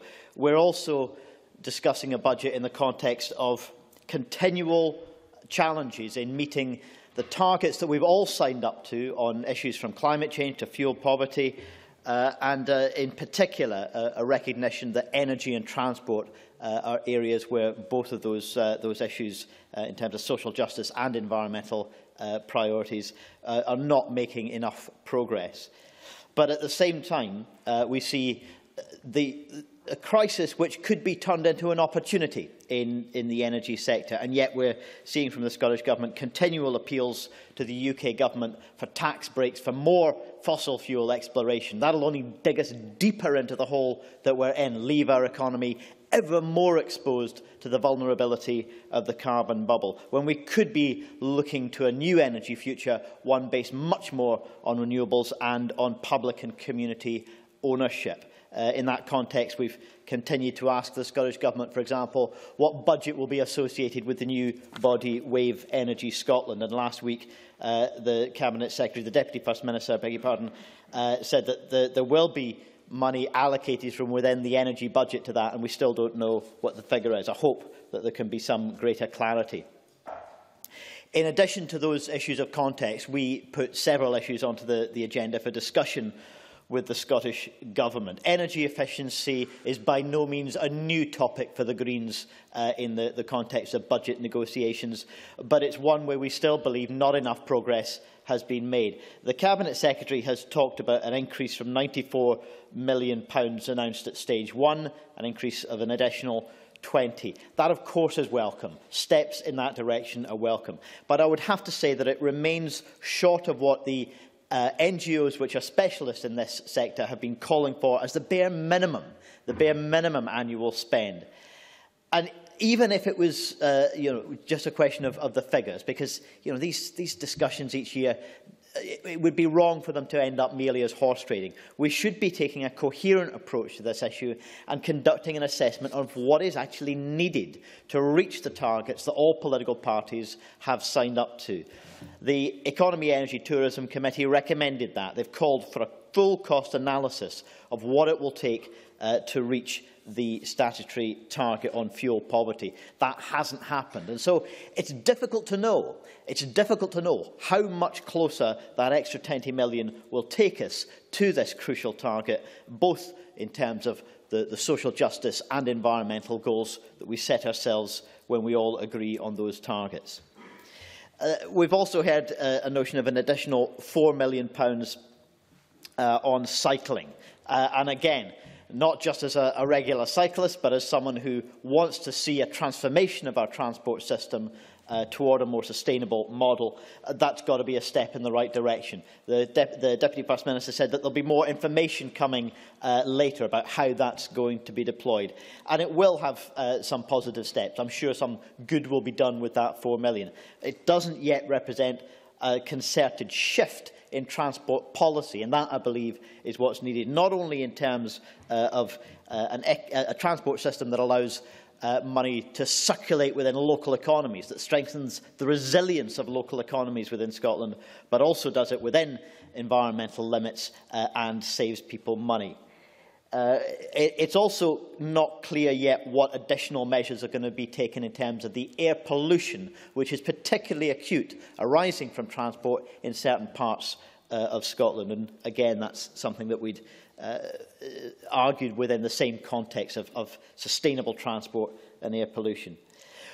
Finally, we also argued that uh, on a smaller scale in, in, in budgetary terms, there was going to be a need for local authorities to be able to build their skills and capacity in relation to unconventional gas, uh, fracking and other techniques uh, if those applications were going to come through. Well, in the light of the moratorium that's been announced, and which is very much welcome, uh, it's clear that that is not such an urgent priority, although we reserve the right to return to that uh, issue if that moratorium is ever lifted and if local authorities do find themselves uh, burdened with the, the, the threat of unconventional gas applications. We will need to skill them up if they're going to deal with that uh, adequately.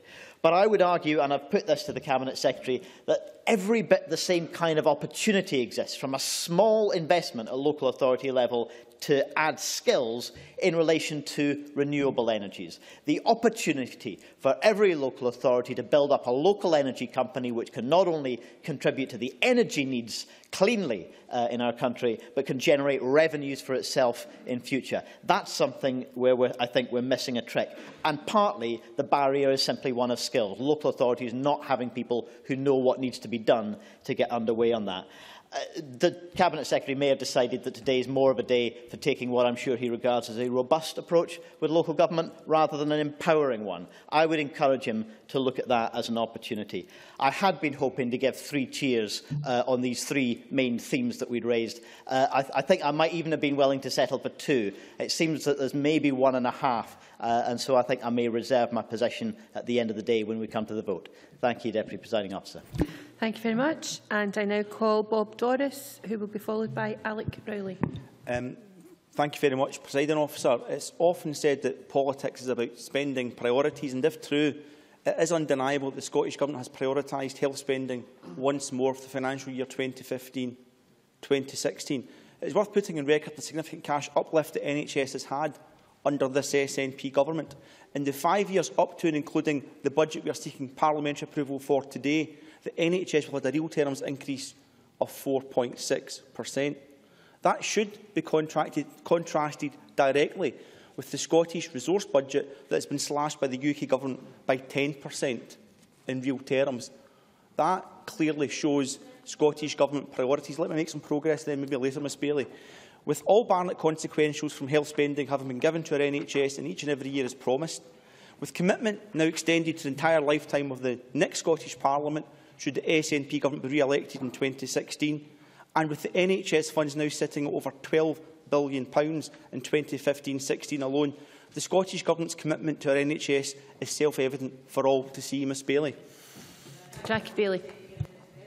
Would he agree that, therefore, between 2007 and 2010, when a UK Labour government gave the Scottish NHS inflation-busting increases, that actually the SNP didn't pass those on to the health service. Bob Doris. I'd ask Ms Baillie maybe just to sit tight for a second, because don't worry about contrasting the NHS in 2006-7 when Labour were last in power with its condition today. And can I assure you, when I get to that, Ms Baillie, it's far superior today than when you were last in power.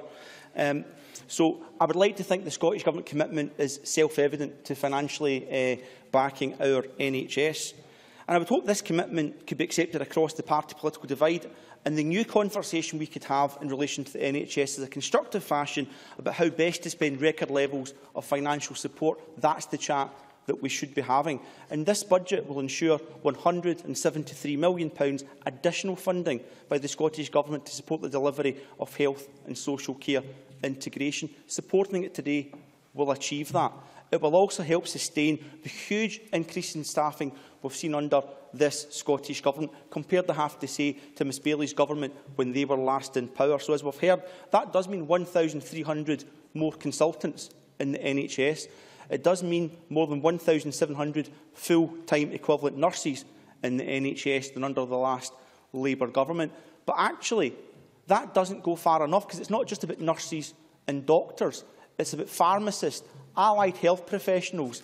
It's about a range of social care staff that is required, the right skills at the right place at the right term, at the right time to deliver the NHS, the health and social care services that we wish to see. So no complacency, but it is important to point out the progress that has been made.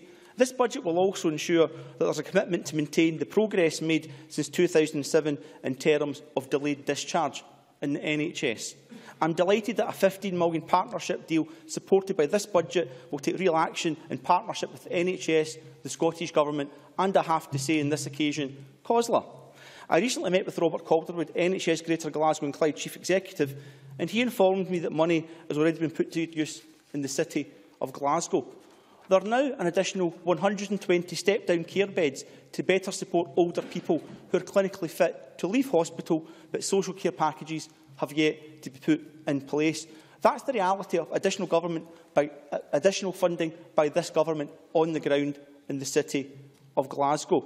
Now, we all know about recent challenges in relation to late discharge. But again, let's go back to 2007 and let's get some perspective. Delayed discharge today has reduced by two-thirds compared to 2007, and the average delay is down 50%.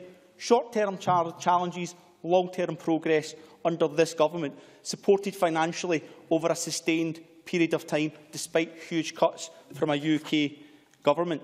This budget will also ensure that the first tranche of an additional £100 million over three years will also be invested specifically to enhance social care services. That money is aimed at ensuring medically fit patients can be more speedily discharged from hospital uh, where appropriate, with appropriate care packages put in place. It will also help deliver preventative actions, hopefully to avoid older, frail people ever getting to A&E in the first place. So let's get some context today with the budget and the commitment in relation to the National Health Service. Yes, we will always hear claims for more money. We heard on the 13th of January from Neil Findlay that it was West Lothian, not, not councils, just West Lothian Council, £108 million, I believe, was their shortfall. We've heard uh, from Jackie Baillie, I believe, to get rid of care charges at a price of £50 million. Johann Lamont wanted to cap childcare costs. SPICe, that could cost up to £1 billion. Pounds. We've heard an exposition from Iain Gray about more money, money for teachers, totally uncosted, without one commitment for one penny will come from. It takes this budget this government, an SNP government, to balance the books and despite huge austerity cuts from the UK, to prioritise our NHS. We've done that here this afternoon, and all I hear from others is empty promises. They will scurry about Scotland, promising everyone money for everything, but do nothing to stop UK austerity cuts coming from London, which they've signed up £30 billion to do to win right-wing votes in the south east of England. I know where I'd stand with in this budget, and it's not the opposition party over there, and it's not Mr Murphy. Murphy. It's John Swinney, our Deputy First Minister, and I commend this budget to the House this afternoon. Thank you. I now call Alec Rowley to be followed by Bruce Crawford. Thank you, Presiding Officer. Um, I certainly would not be able to support this budget today because I think it fails on a whole range of fronts that need to be tackled. Um, if I can refer to Sandra White earlier and talking about you know, the, the, the commitment to the NHS and somehow talking the NHS down. I would certainly say that, that from my own personal experience, my family's experience, um, the NHS has been there and we could never repay um, what the NHS has done for our family and their families up and down Scotland and every community that would say the same. But that does not mean that we don't question the, you know, the, the, the NHS was the greatest creation of the last century and in this century as politicians, regardless of what party you're in, we have a duty to stand up and fight and make the case for the NHS. I mentioned to Sandra White about the case of the lady this morning with the cancelled operation. I understand, or she, she suggests to me there was 10 cancellations this morning. I will be taking that up with the Health Secretary when I meet with her tomorrow. I will be calling for an inquiry into NHS Fife practices where another patient has died. Um, we saw the accident and emergency uh, time, waiting times that came out yesterday with NHS 5. Again, they were not acceptable. And the point is that Mr Swinney comes along here today and tells us that patient satisfaction's up, um, cleaning's up, accident emergency figures are up. Um, he, so it is a bit like the emperor's clothing. We would expect the health service to be improving, but where it's not and where in the case of Fife it's bouncing, bouncing from crisis to crisis, then we need to be able to, as elected politicians, speak up for that. Um, but I also want to touch on a number of other points in the way, not, not just sorry, and a number of other points. Mr Swinney talks about a fairer um, society and that the economic strategy is working, but that is one of the major failures of this budget, is that it is failing to ensure that everyone can enjoy the benefits in Scotland of a stronger economy. 160,000 people that are presently unemployed in Scotland, they're certainly not reaping the benefits. Many more that are not registered as unemployed but are out of work and with no skills, not able to be able to get access to jobs that are there. We see um, in my own constituency, we see um, pods being built in Rosyth and elsewhere to house workers coming from abroad and employers tell me they can't get the skills locally, whilst at the same time we have seen a 37% cut in college budgets since 2007, some £67 million. So that for me does not equate to some kind of fairness. I'll give way. Bob Doris. Thank you very much, Mr Riley. As others have said, I don't doubt the sincerity of, of, of Labour speeches. It's merely the fact there has to be a budget agreed, agreed this afternoon. Tell me, how much money is the Labour opposition pledging for Scotland's colleges? Is it costed? How many places? Can you deliver it? Or is it a soundbite just to garner favour with whoever you're spoken to at any given time? What we, what we put forward today was £100 million for the National Health Service because we are saying that that is a key priority. In my case in Fife, there is clearly a crisis within the National Health Service. £67 million taking out of the colleges over the last seven or eight years will not be put back in one budget. And that's the point that Iain Gray made. And I have to say, I have to say to the Deputy um, First Minister that, that I am absolutely appalled at the attack that he makes today on local government um, right across Scotland, local authorities, and he knows this, local authorities are absolutely struggling in terms of the budgets that they are actually trying to deal with. In education, in Fife case, for example, um, the Deputy Leader advises me that they've got faced with a bill at the end of last year for some £3.5 million for pension costs. There are many other costs that are there, and in every local authority, councils are looking at cutting education budgets. There's no doubt about that. Now, I had always taken the Cabinet Secretary and the Deputy uh, First Minister at his word where he said he wanted to work with councils, but today he comes into this chamber and tries to politicise the relationship between local government and Scottish Government, not recognising the major problems that local authorities are facing. When it comes to local government finance, year on year there has been real-term cash cuts in local government. The council tax freeze has not been properly funded. And as a result of that, we're seeing cuts taking place in frontline services. And it is absolutely difficult to see how um, education will be able to um, continue with the level of services that they have with the types of budget cuts that, that are there at the present time. So certainly the offer that Mr Swinney makes today to talk to individual councils, I certainly would hope that the council in my area and council leaders and education spokespersons across Scotland are knocking on Mr Swinney's door and coming and presenting the facts to him. I hope that they also will be able to present the facts to the public. We must move away from this phony war between local government and the Scottish Government where the Teflon um, Cabinet Secretary and, and, and um, Deputy First Minister is prepared to blame local government but not prepared to take responsibility. Our teachers, our parents, but most importantly our children who are coming through the school system and can't get the jobs within the economy are not enjoying a share in the wealth of the Scottish economy. They deserve please. better, far better. Thank you very much. And before we turn to closing speeches, I now call Bruce Crawford as our last open debate speaker. Uh, thank you, President Officer. I'm glad to get the opportunity to contribute to this Stage 3 debate on the Scottish Government's budget bill. Uh, setting a budget can be a difficult and challenging enough task when the backdrop is a budget allocation growing in real terms. You only need to talk to Labour finance ministers to find out just how challenging a job that was, even in these circumstances. However, setting the budget in the teeth of a reduction of about 10 per cent and the spending power available to you since 2010 does make budget setting substantially more challenging. Particularly at the same time, you're trying to help stimulate growth in the economy, create a fairer society and improve public services. The primary aim in any budget must be the goal of improving economic prosperity, because without such conditions it will prove even more difficult to support our vital public services. Of course, any government with the full normal fiscal levers available at its disposal would start with a significant advantage in attempting to help stimulate an investment-led recovery.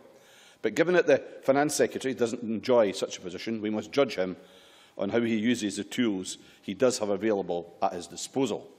So in doing so, I'm glad that in setting his budget, John Swinney's infrastructure investment programme will now be worth over £8 billion over two years, with a further £1 billion extension to the NPD infrastructure pipeline. Yeah, yeah. With key infrastructure projects, including obviously the Forth replacement co crossing, costing about £1.4 billion and directly uh, contributing at peak about 1,200 jobs, a new South Glasgow hospitals costing £842 million and supporting 1,500 jobs in sight. And of course, Scotland's Schools for the Future Building programme, which will deliver 91 new schools by March 2018, and an additional £140 million provided to deliver two new college campuses. These are the very type of infrastructure projects that will help drive the economy forward, create jobs and improve prosperity of Scotland. And in that respect, I cannot help but reflect on the pre-recession period before 2008, when financial resources were much more freely available In some respects, I regret that governments did not at that time commit a larger share of expenditure to uh, infrastructure improvement. Had that been the case, I believe that our economy would have proved much more resilient to economic shock than the reality we all know. But that's obviously a retrospective position, and we cannot go back and undo the past. But perhaps, however, we can learn from the lessons that history teaches us in that regard. And that's why I'm pleased that today the Finance Secretary is utilising all of the re revenue spending room that he can potentially apply to get finance into much-needed infrastructure spend. I'm also pleased today he's announced additional £20 million for energy efficiency measures, not only to help reduce fuel poverty, but also our climate change footprint on the planet. And also because, crucially, Scotland's only glass wool insulation production facility is located in my constituency of Stirling, yeah, yeah. in the shape of the firm Superglass. Uh, this company has had significant trading challenges as a result of negative changes to the UK Government's Green Deal programme. I hope in how the spend is deployed uh, that the excellent quality of product produced by Superglass will be borne in mind as we try to develop the budget process in that regard, particularly if we can consider that in Scotland there are still a significant number of homes that remain to have appropriate levels of loft insulation installed. Now, I want to turn in the time I've got left to the position of the Labour Party uh, to the budget. Um, during the Stage 1 debate and today during Stage 3, Labour spokespersons have put forward arguments that the budgets for both health and local government should see more resources applied to them, um, plus a resilience fund of some sort. Um, I've got this right, it's specifically £100 million added to the health budget, a less specific amount to local government. Um, Malcolm Chisholm, Ian Gray, Alec Rowley, none of them were eh, able to put on a sum of exactly how much they were going to commit to local government in future. They're obviously not as brave as Jackie Bailey, though, um, because from Jackie Bailey said at stage one, she'd like to see an additional £1.8 billion provided to councils. Or anything up to that sum. Now, I see Jackie Baillie shaking her, her head as if that's not the ah, fact, ah, but if you, if you happen to go to columns 31 to 33 of the official report, yeah. you, oh yes, I'm delighted to take an answer. Jackie Baillie. That, that indeed is very kind of the member, but if he reflected on what the official report says, the 1.8 billion is the amount that the SNP have removed from local government. Yeah. Chris Crawford. And interestingly, you, you've not suggested today that we put one penny back into, into that, if that figure was to be correct. Now, the report says, First Minister asking a question, I have a simple question for Jackie Baillie. I'm hearing she Object, wants to put, give more money to local government. I said the issue's too big, too to be resolved. It absolutely is. And we're talking about £1.8 billion. Pounds. So it's committed in paper that Jackie Baillie wants to put that number in, a number that none of our people around about her were brave enough to put forward. Now, look, I fully respect Labour's um, right to put forward proposals for additional expenditure. That's the right of any party in this chamber. Even, even the figure of £1.8 billion for local government in the context of a fixed budget does seem quite extraordinary. But Labour, uh, in putting forward these proposals, have also got the responsibility to this Parliament and to the people of Scotland to identify which budgets will be cut by the equivalent amounts. It is no wonder that you are struggling in the polls. It's no wonder because you have shown absolutely no responsibility here in this budget process today and you're going to continue to suffer in the polls until you learn about what responsibility close, is all about. Thank you.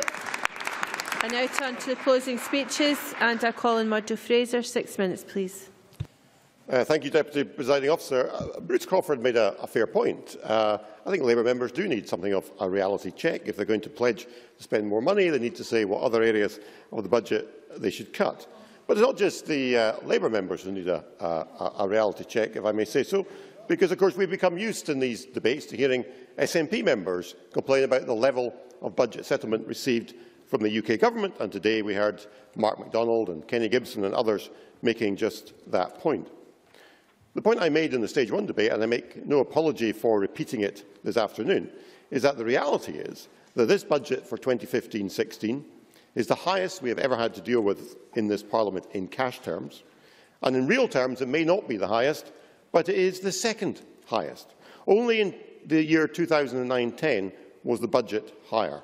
And in each of the past 16 years, with that one exception, the budget was lower. So when we hear SNP members talk about savage cuts or slashing to ribbons of the budget, we need to bear that in context. Indeed, for all the complaints about austerity, the Scottish Government has, in historic terms, huge sums to deal with, and today has given no indication of being a government that is having to count the pennies. Now, Gavin Brown raised the issue of business rates. We firmly believe that all the business-related consequentials coming up from the UK government spend should be passed on in rates reductions. Otherwise, the competitive advantage the Scottish businesses have, which we very much welcome, will be eroded. So the Scottish Government should have been ensuring that the additional sums coming up from down south, to, for example, reflecting the support for retail premises that exists south of the border, were either mirrored in Scotland or passed on to business in some other way. And I make no apology for raising again the proposal from the Scottish Government to introduce rates on sporting interests, which will have a negative impact on the rural economy. But it, it is in relation to the rates on LBTT that we have the greatest disagreement with the Scottish Government. Now, Mr Brown has set out our proposed alternative approach to that being taken by Mr Swinney on LBTT. We believe that having a 10% rate kicking in at £325,000 will have an adverse effect on many individuals who would not regard themselves as wealthy. And of course, we have some uh, supporters in that view. Even that leading member of the Yes campaign, the independent councillor for Midlothian, Peter De Vink, has expressed concern about wealth creators being chased south of the border by these measures. I heard Councillor De Vink on the BBC Morning Call programme on the 22nd of January. This is the man who stood shoulder to shoulder with Mr Swinney on platforms as part of Yes Scotland. And he said this, and I quote, I don't like the direction of travel. Scotland will be known as a high-tax country. This sends out all the wrong signals. We shouldn't be hitting wealth creators. We need to keep them here. I am deeply, deeply disappointed. So even if even Mr Swinney's closest allies are taking such a dismal view of his tax plans, he can hardly blame us for being critical of them. Indeed, on the phone-in programme I was listening to, Mr Swinney's plans took a pasting from callers, with one exception. Someone called Dave from Blairgowrie, who called in to support Mr Swinney's proposals in fulsome fashion. Now, Dave had a voice that sounded very remarkably like that of Mr Swinney's constituency assistant, Councillor Dave Doogan. Now, surely it can't be the case that the only people prepared to support Mr Swinney's taxes are his own staff members. And he has to instruct them to spend their time calling up radio phone-in programmes to support his position. Now, there have been a number of those others involved in, for example, in property, including estate agents, who have expressed similar views. They don't see why Scottish house purchasers should be disadvantaged compared to those south of the border, which is why we have proposed increasing the threshold for the 10% rate to £500,000. And then there is the issue of revenue neutrality. In this, Mr Swinney has been consistent, or so it seems, because in announcing the proposed LBTT changes on October the 9th, he said the tax would be, I quote, raising no more or less than the taxes that they replace. But as Gavin Brown pointed out, the term revenue neutral now appears to have been changed so that it has had not one definition, not two definitions, but three. For at First Minister's questions on the January 22nd, the First Minister took revenue neutrality to mean not simply raising no more or less than the taxes that they replace, but also to include money to go into a cash reserve. So it seems there are three definitions now of revenue neutrality. Definition one is raising no more or less than the taxes that they replace. Definition two is enough to cover the block grant adjustment. And definition three, enough to cover the block grant adjustment and put money into the cash reserve. So here we have Mr Swinney squirreling away £11 million in Barnett consequentials, which could be applied to LBTT, and putting that into his cash reserve. Now, we've been very clear, Deputy Presiding Officer. We do not want to see Scots paying higher taxes than those elsewhere in the UK. And we believe that when the Scottish Government says it believes in revenue neutrality, it should do what it says. And we believe that Scottish businesses should not see their competitive position in relation to businesses elsewhere in the UK being slowly eroded. And for all these reasons, we cannot therefore support the Scottish Government's budget today.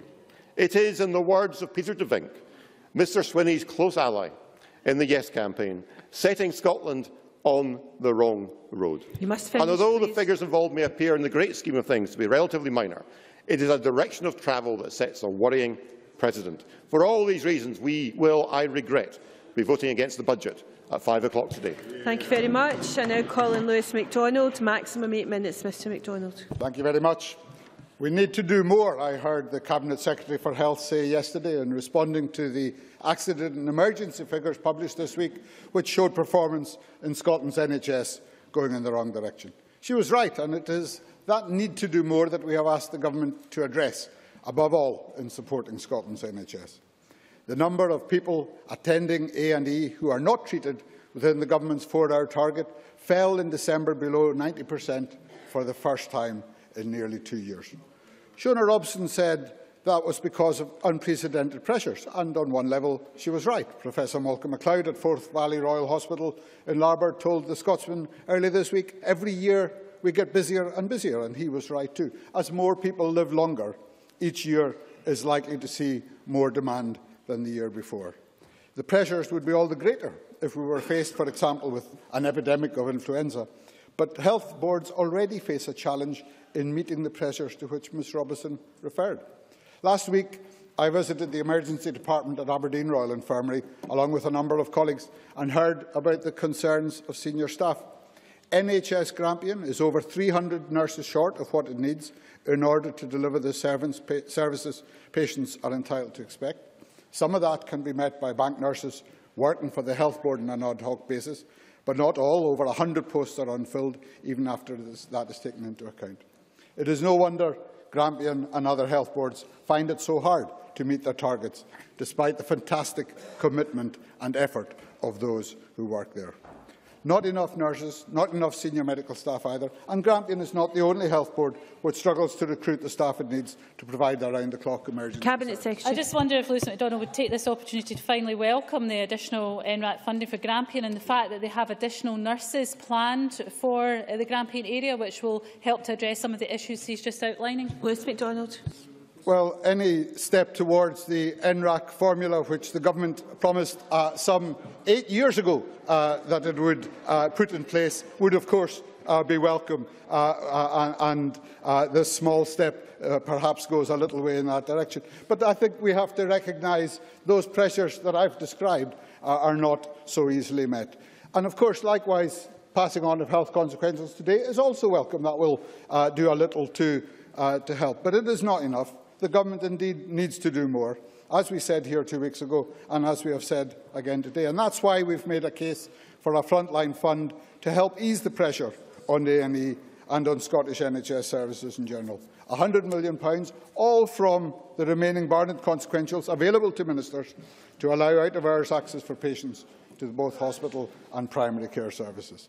A frontline fund would signal a willingness to explore new ways of delivering healthcare with the standard working week. It might even reduce the number of patients forced to travel for treatment to other board areas or turn to the private sector by making it easier for people to be treated close to home.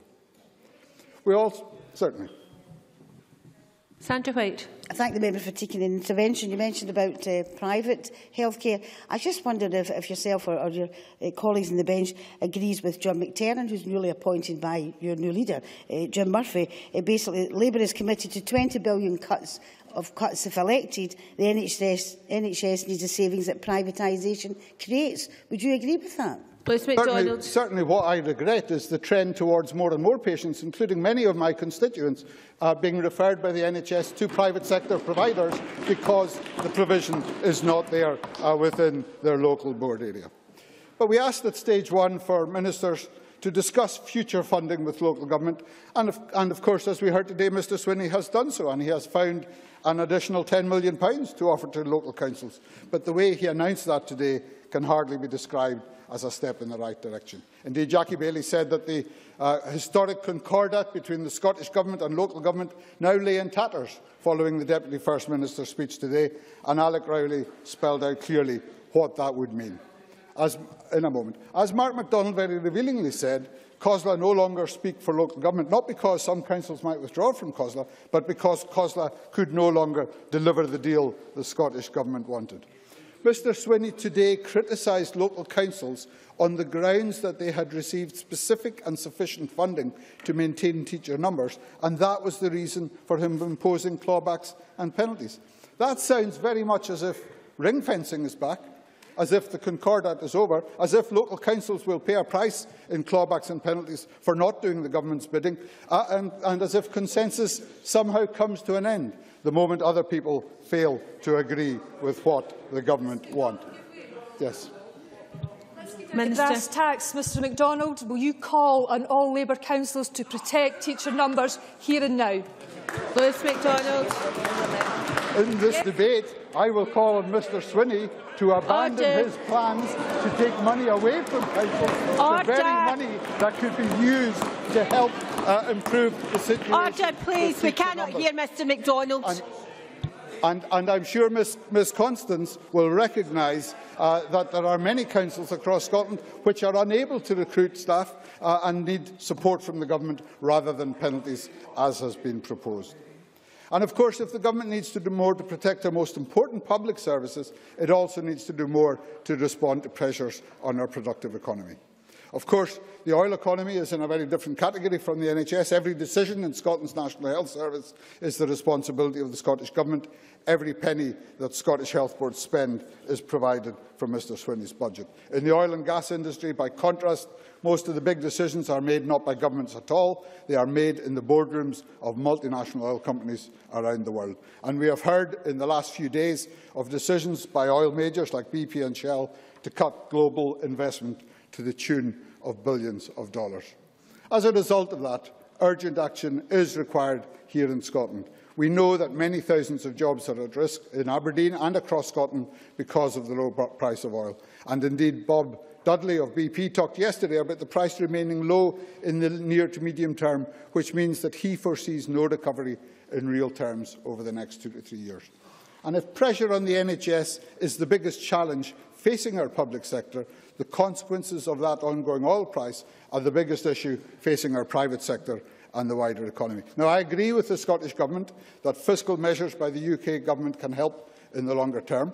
They would signal their uh, uh, recognition of the urgency of the problem. I'm glad that both governments supported the Oil Jobs Summit in Aberdeen this week and agreed to work together on a city deal for the Aberdeen City region. But there is more the Scottish Government can do, and there is more it should do in light of its responsibility for the stewardship of the Scottish economy.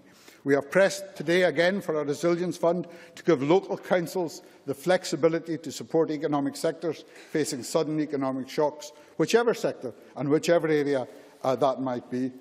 Ministers have not responded positively to that proposal, which is disappointing. Yes, they are promoting the merits of partnership action for continuing employment. I welcome that. It's important that workers facing redundancy get the support they need. But it is also essential that the Government assesses the potential impact on the wider economy of a continuing low oil price.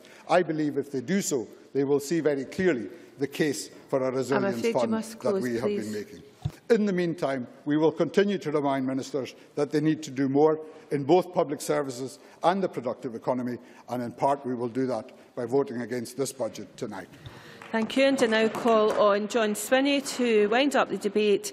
Deputy First Minister, you have 10 minutes.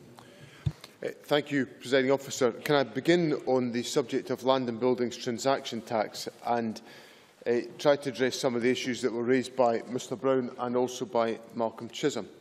Um, the, the Government has maintained a consistent position that we did not want to raise any more from the, uh, trans the, the devolution of land and buildings transaction tax and landfill tax than would have been the case had the taxes remained in place. And um, when I ran the assessment of the existing tax provisions uh, as amended by the Chancellor in the autumn statement that generated a revenue sum of £461 million. Unfortunately, so revenue neutrality, to be, I suppose, absolutely consistent at this point, should have been defined as it should have raised £461 million. But the problem was that I could not get agreement with the United Kingdom Government on those estimates, and the United Kingdom Government in fact believed that these taxes uh, would raise £524 million.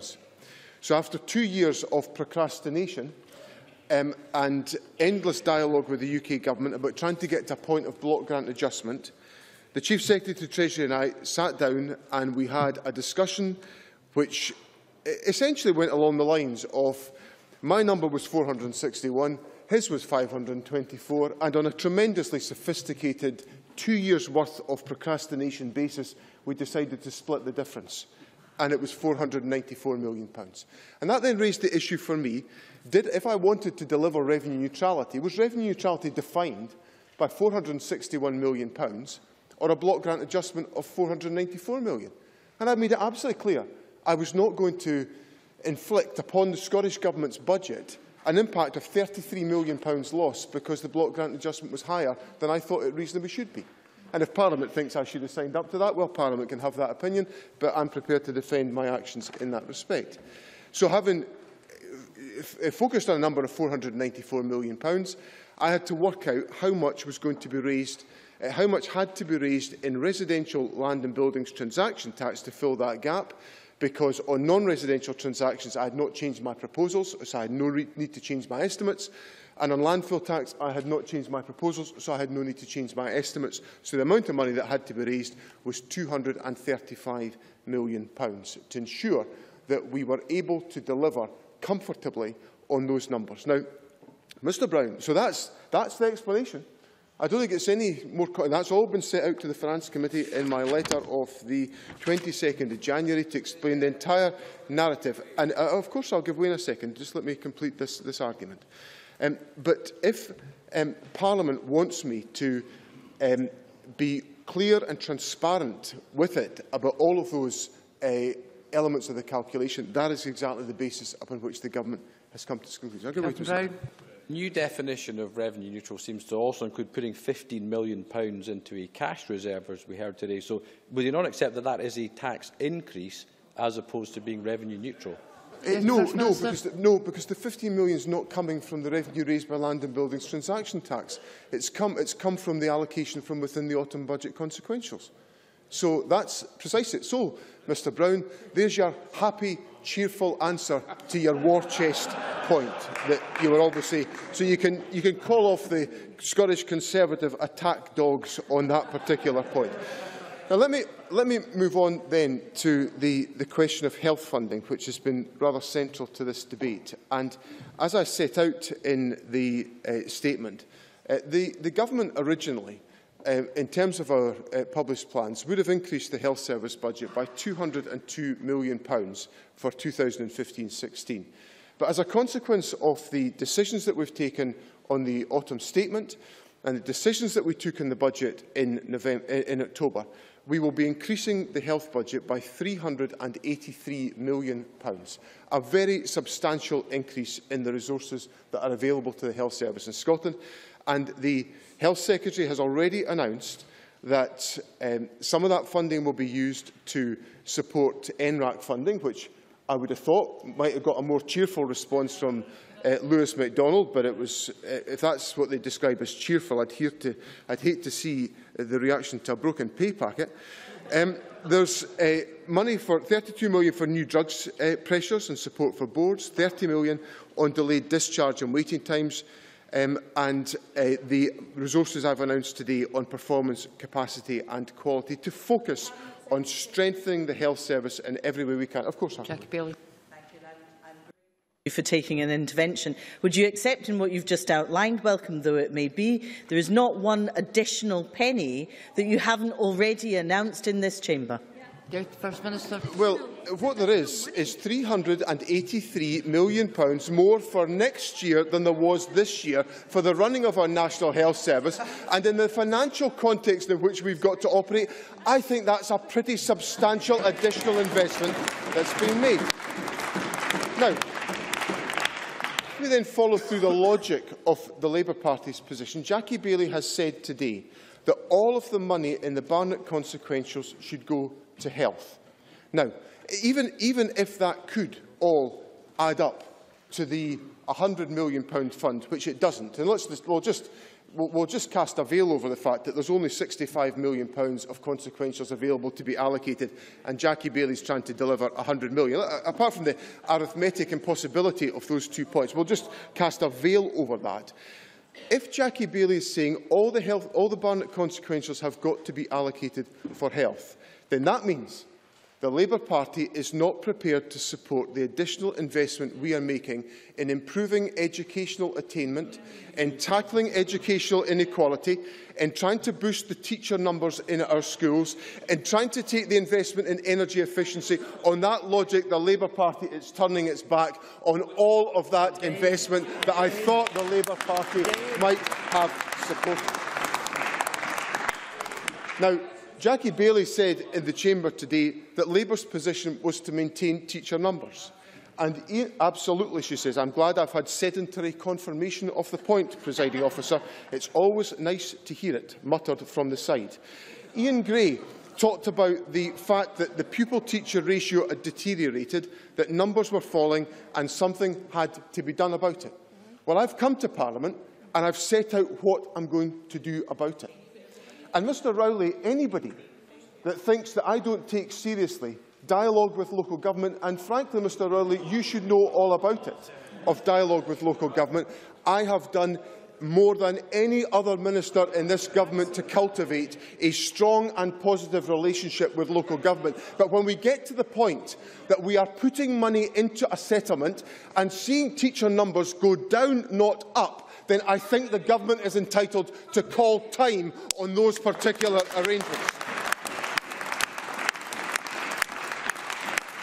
And when, and when Mr Gray was asked by Mr Crawford what money would the Labour Party put in to try to protect teacher numbers, which they're apparently committed to protecting, the answer was absolutely none whatsoever. So I regret, painfully regret the fact that I have not been able to get to a mutual agreement with the Convention of Scottish Local Authorities on the issue of teacher numbers. But if I am to respond positively to what is clearly a majority opinion in Parliament that teacher numbers should be protected, because this government believes that. The Labour opposition apparently believes that we should maintain teacher numbers. I'm bringing the constructive and positive action to actually tackle this issue here to Parliament, and that is what we will put to local government in Scotland. Now, the final point I want to make is about the uh, investment that we're making in uh, our young people and in the wider investment in the educational environment in Scotland. We set out our determination to tackle educational inequality and we have made the first clear statement today of £20 million of further investment in doing that and today it looks as if the Labour Party is going to vote against £20 million to tackle educational inequality in Scotland and that is a matter of profound regret. They will also be voting, they will uh, not at this uh, moment. Uh, they're also going to vote against £526 million being allocated to the college budget in Scotland on the basis that that is not nearly enough. Well, £526 million is more than any Labour administration in Scotland ever delivered for the college sector in our country. So, presiding officer, budget... Sorry, the Minister's in his final minute. Uh, presiding officer, the setting of budgets is a difficult and challenging task for any administration. And in the financial context in which we are operating, in which, Mr Fraser, our budget has reduced in real terms by 10 per cent since the Conservative government came to office, 10%. We manage within that context to deliver public services in an effective way for the people of Scotland. But what the Labour Party has demonstrated today is that it is unfit to come to Parliament and deliver a coherent argument as to how to handle the budget. Apparently it was all to be about health, then it was to be about local government, then it was to be about colleges, and actually it didn't amount to enough money for any of them in terms of the proposals. This is a budget that is strong, a budget focused on the needs of the people of Scotland, and I encourage Parliament to support it.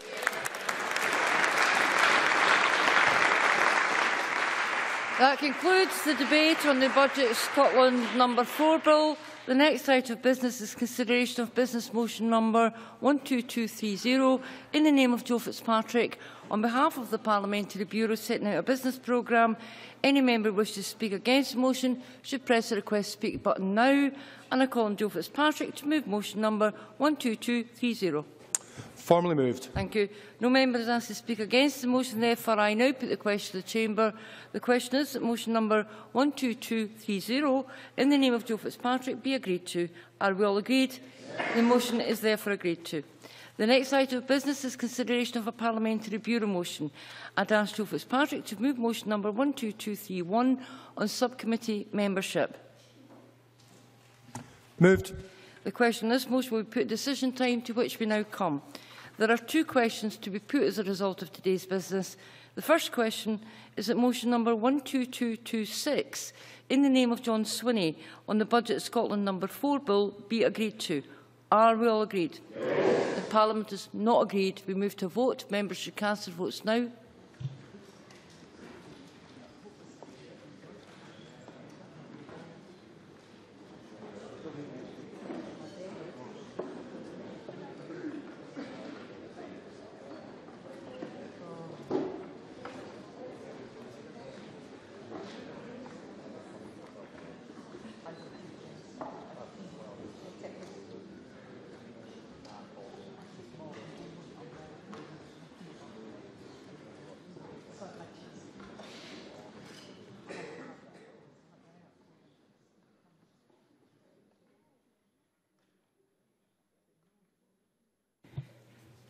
The result of the vote on motion number 12226 in the name of John Swinney is as follows.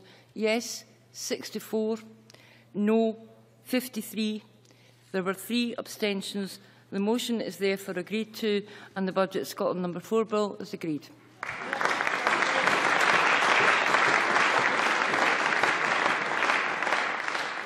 The next question is that motion number 12231 in the name of Joe Fitzpatrick on subcommittee membership be agreed to. Are we all agreed? The motion is therefore agreed to. That concludes decision time. We now move to members' business. Members who leave the chamber should do so quickly and quietly.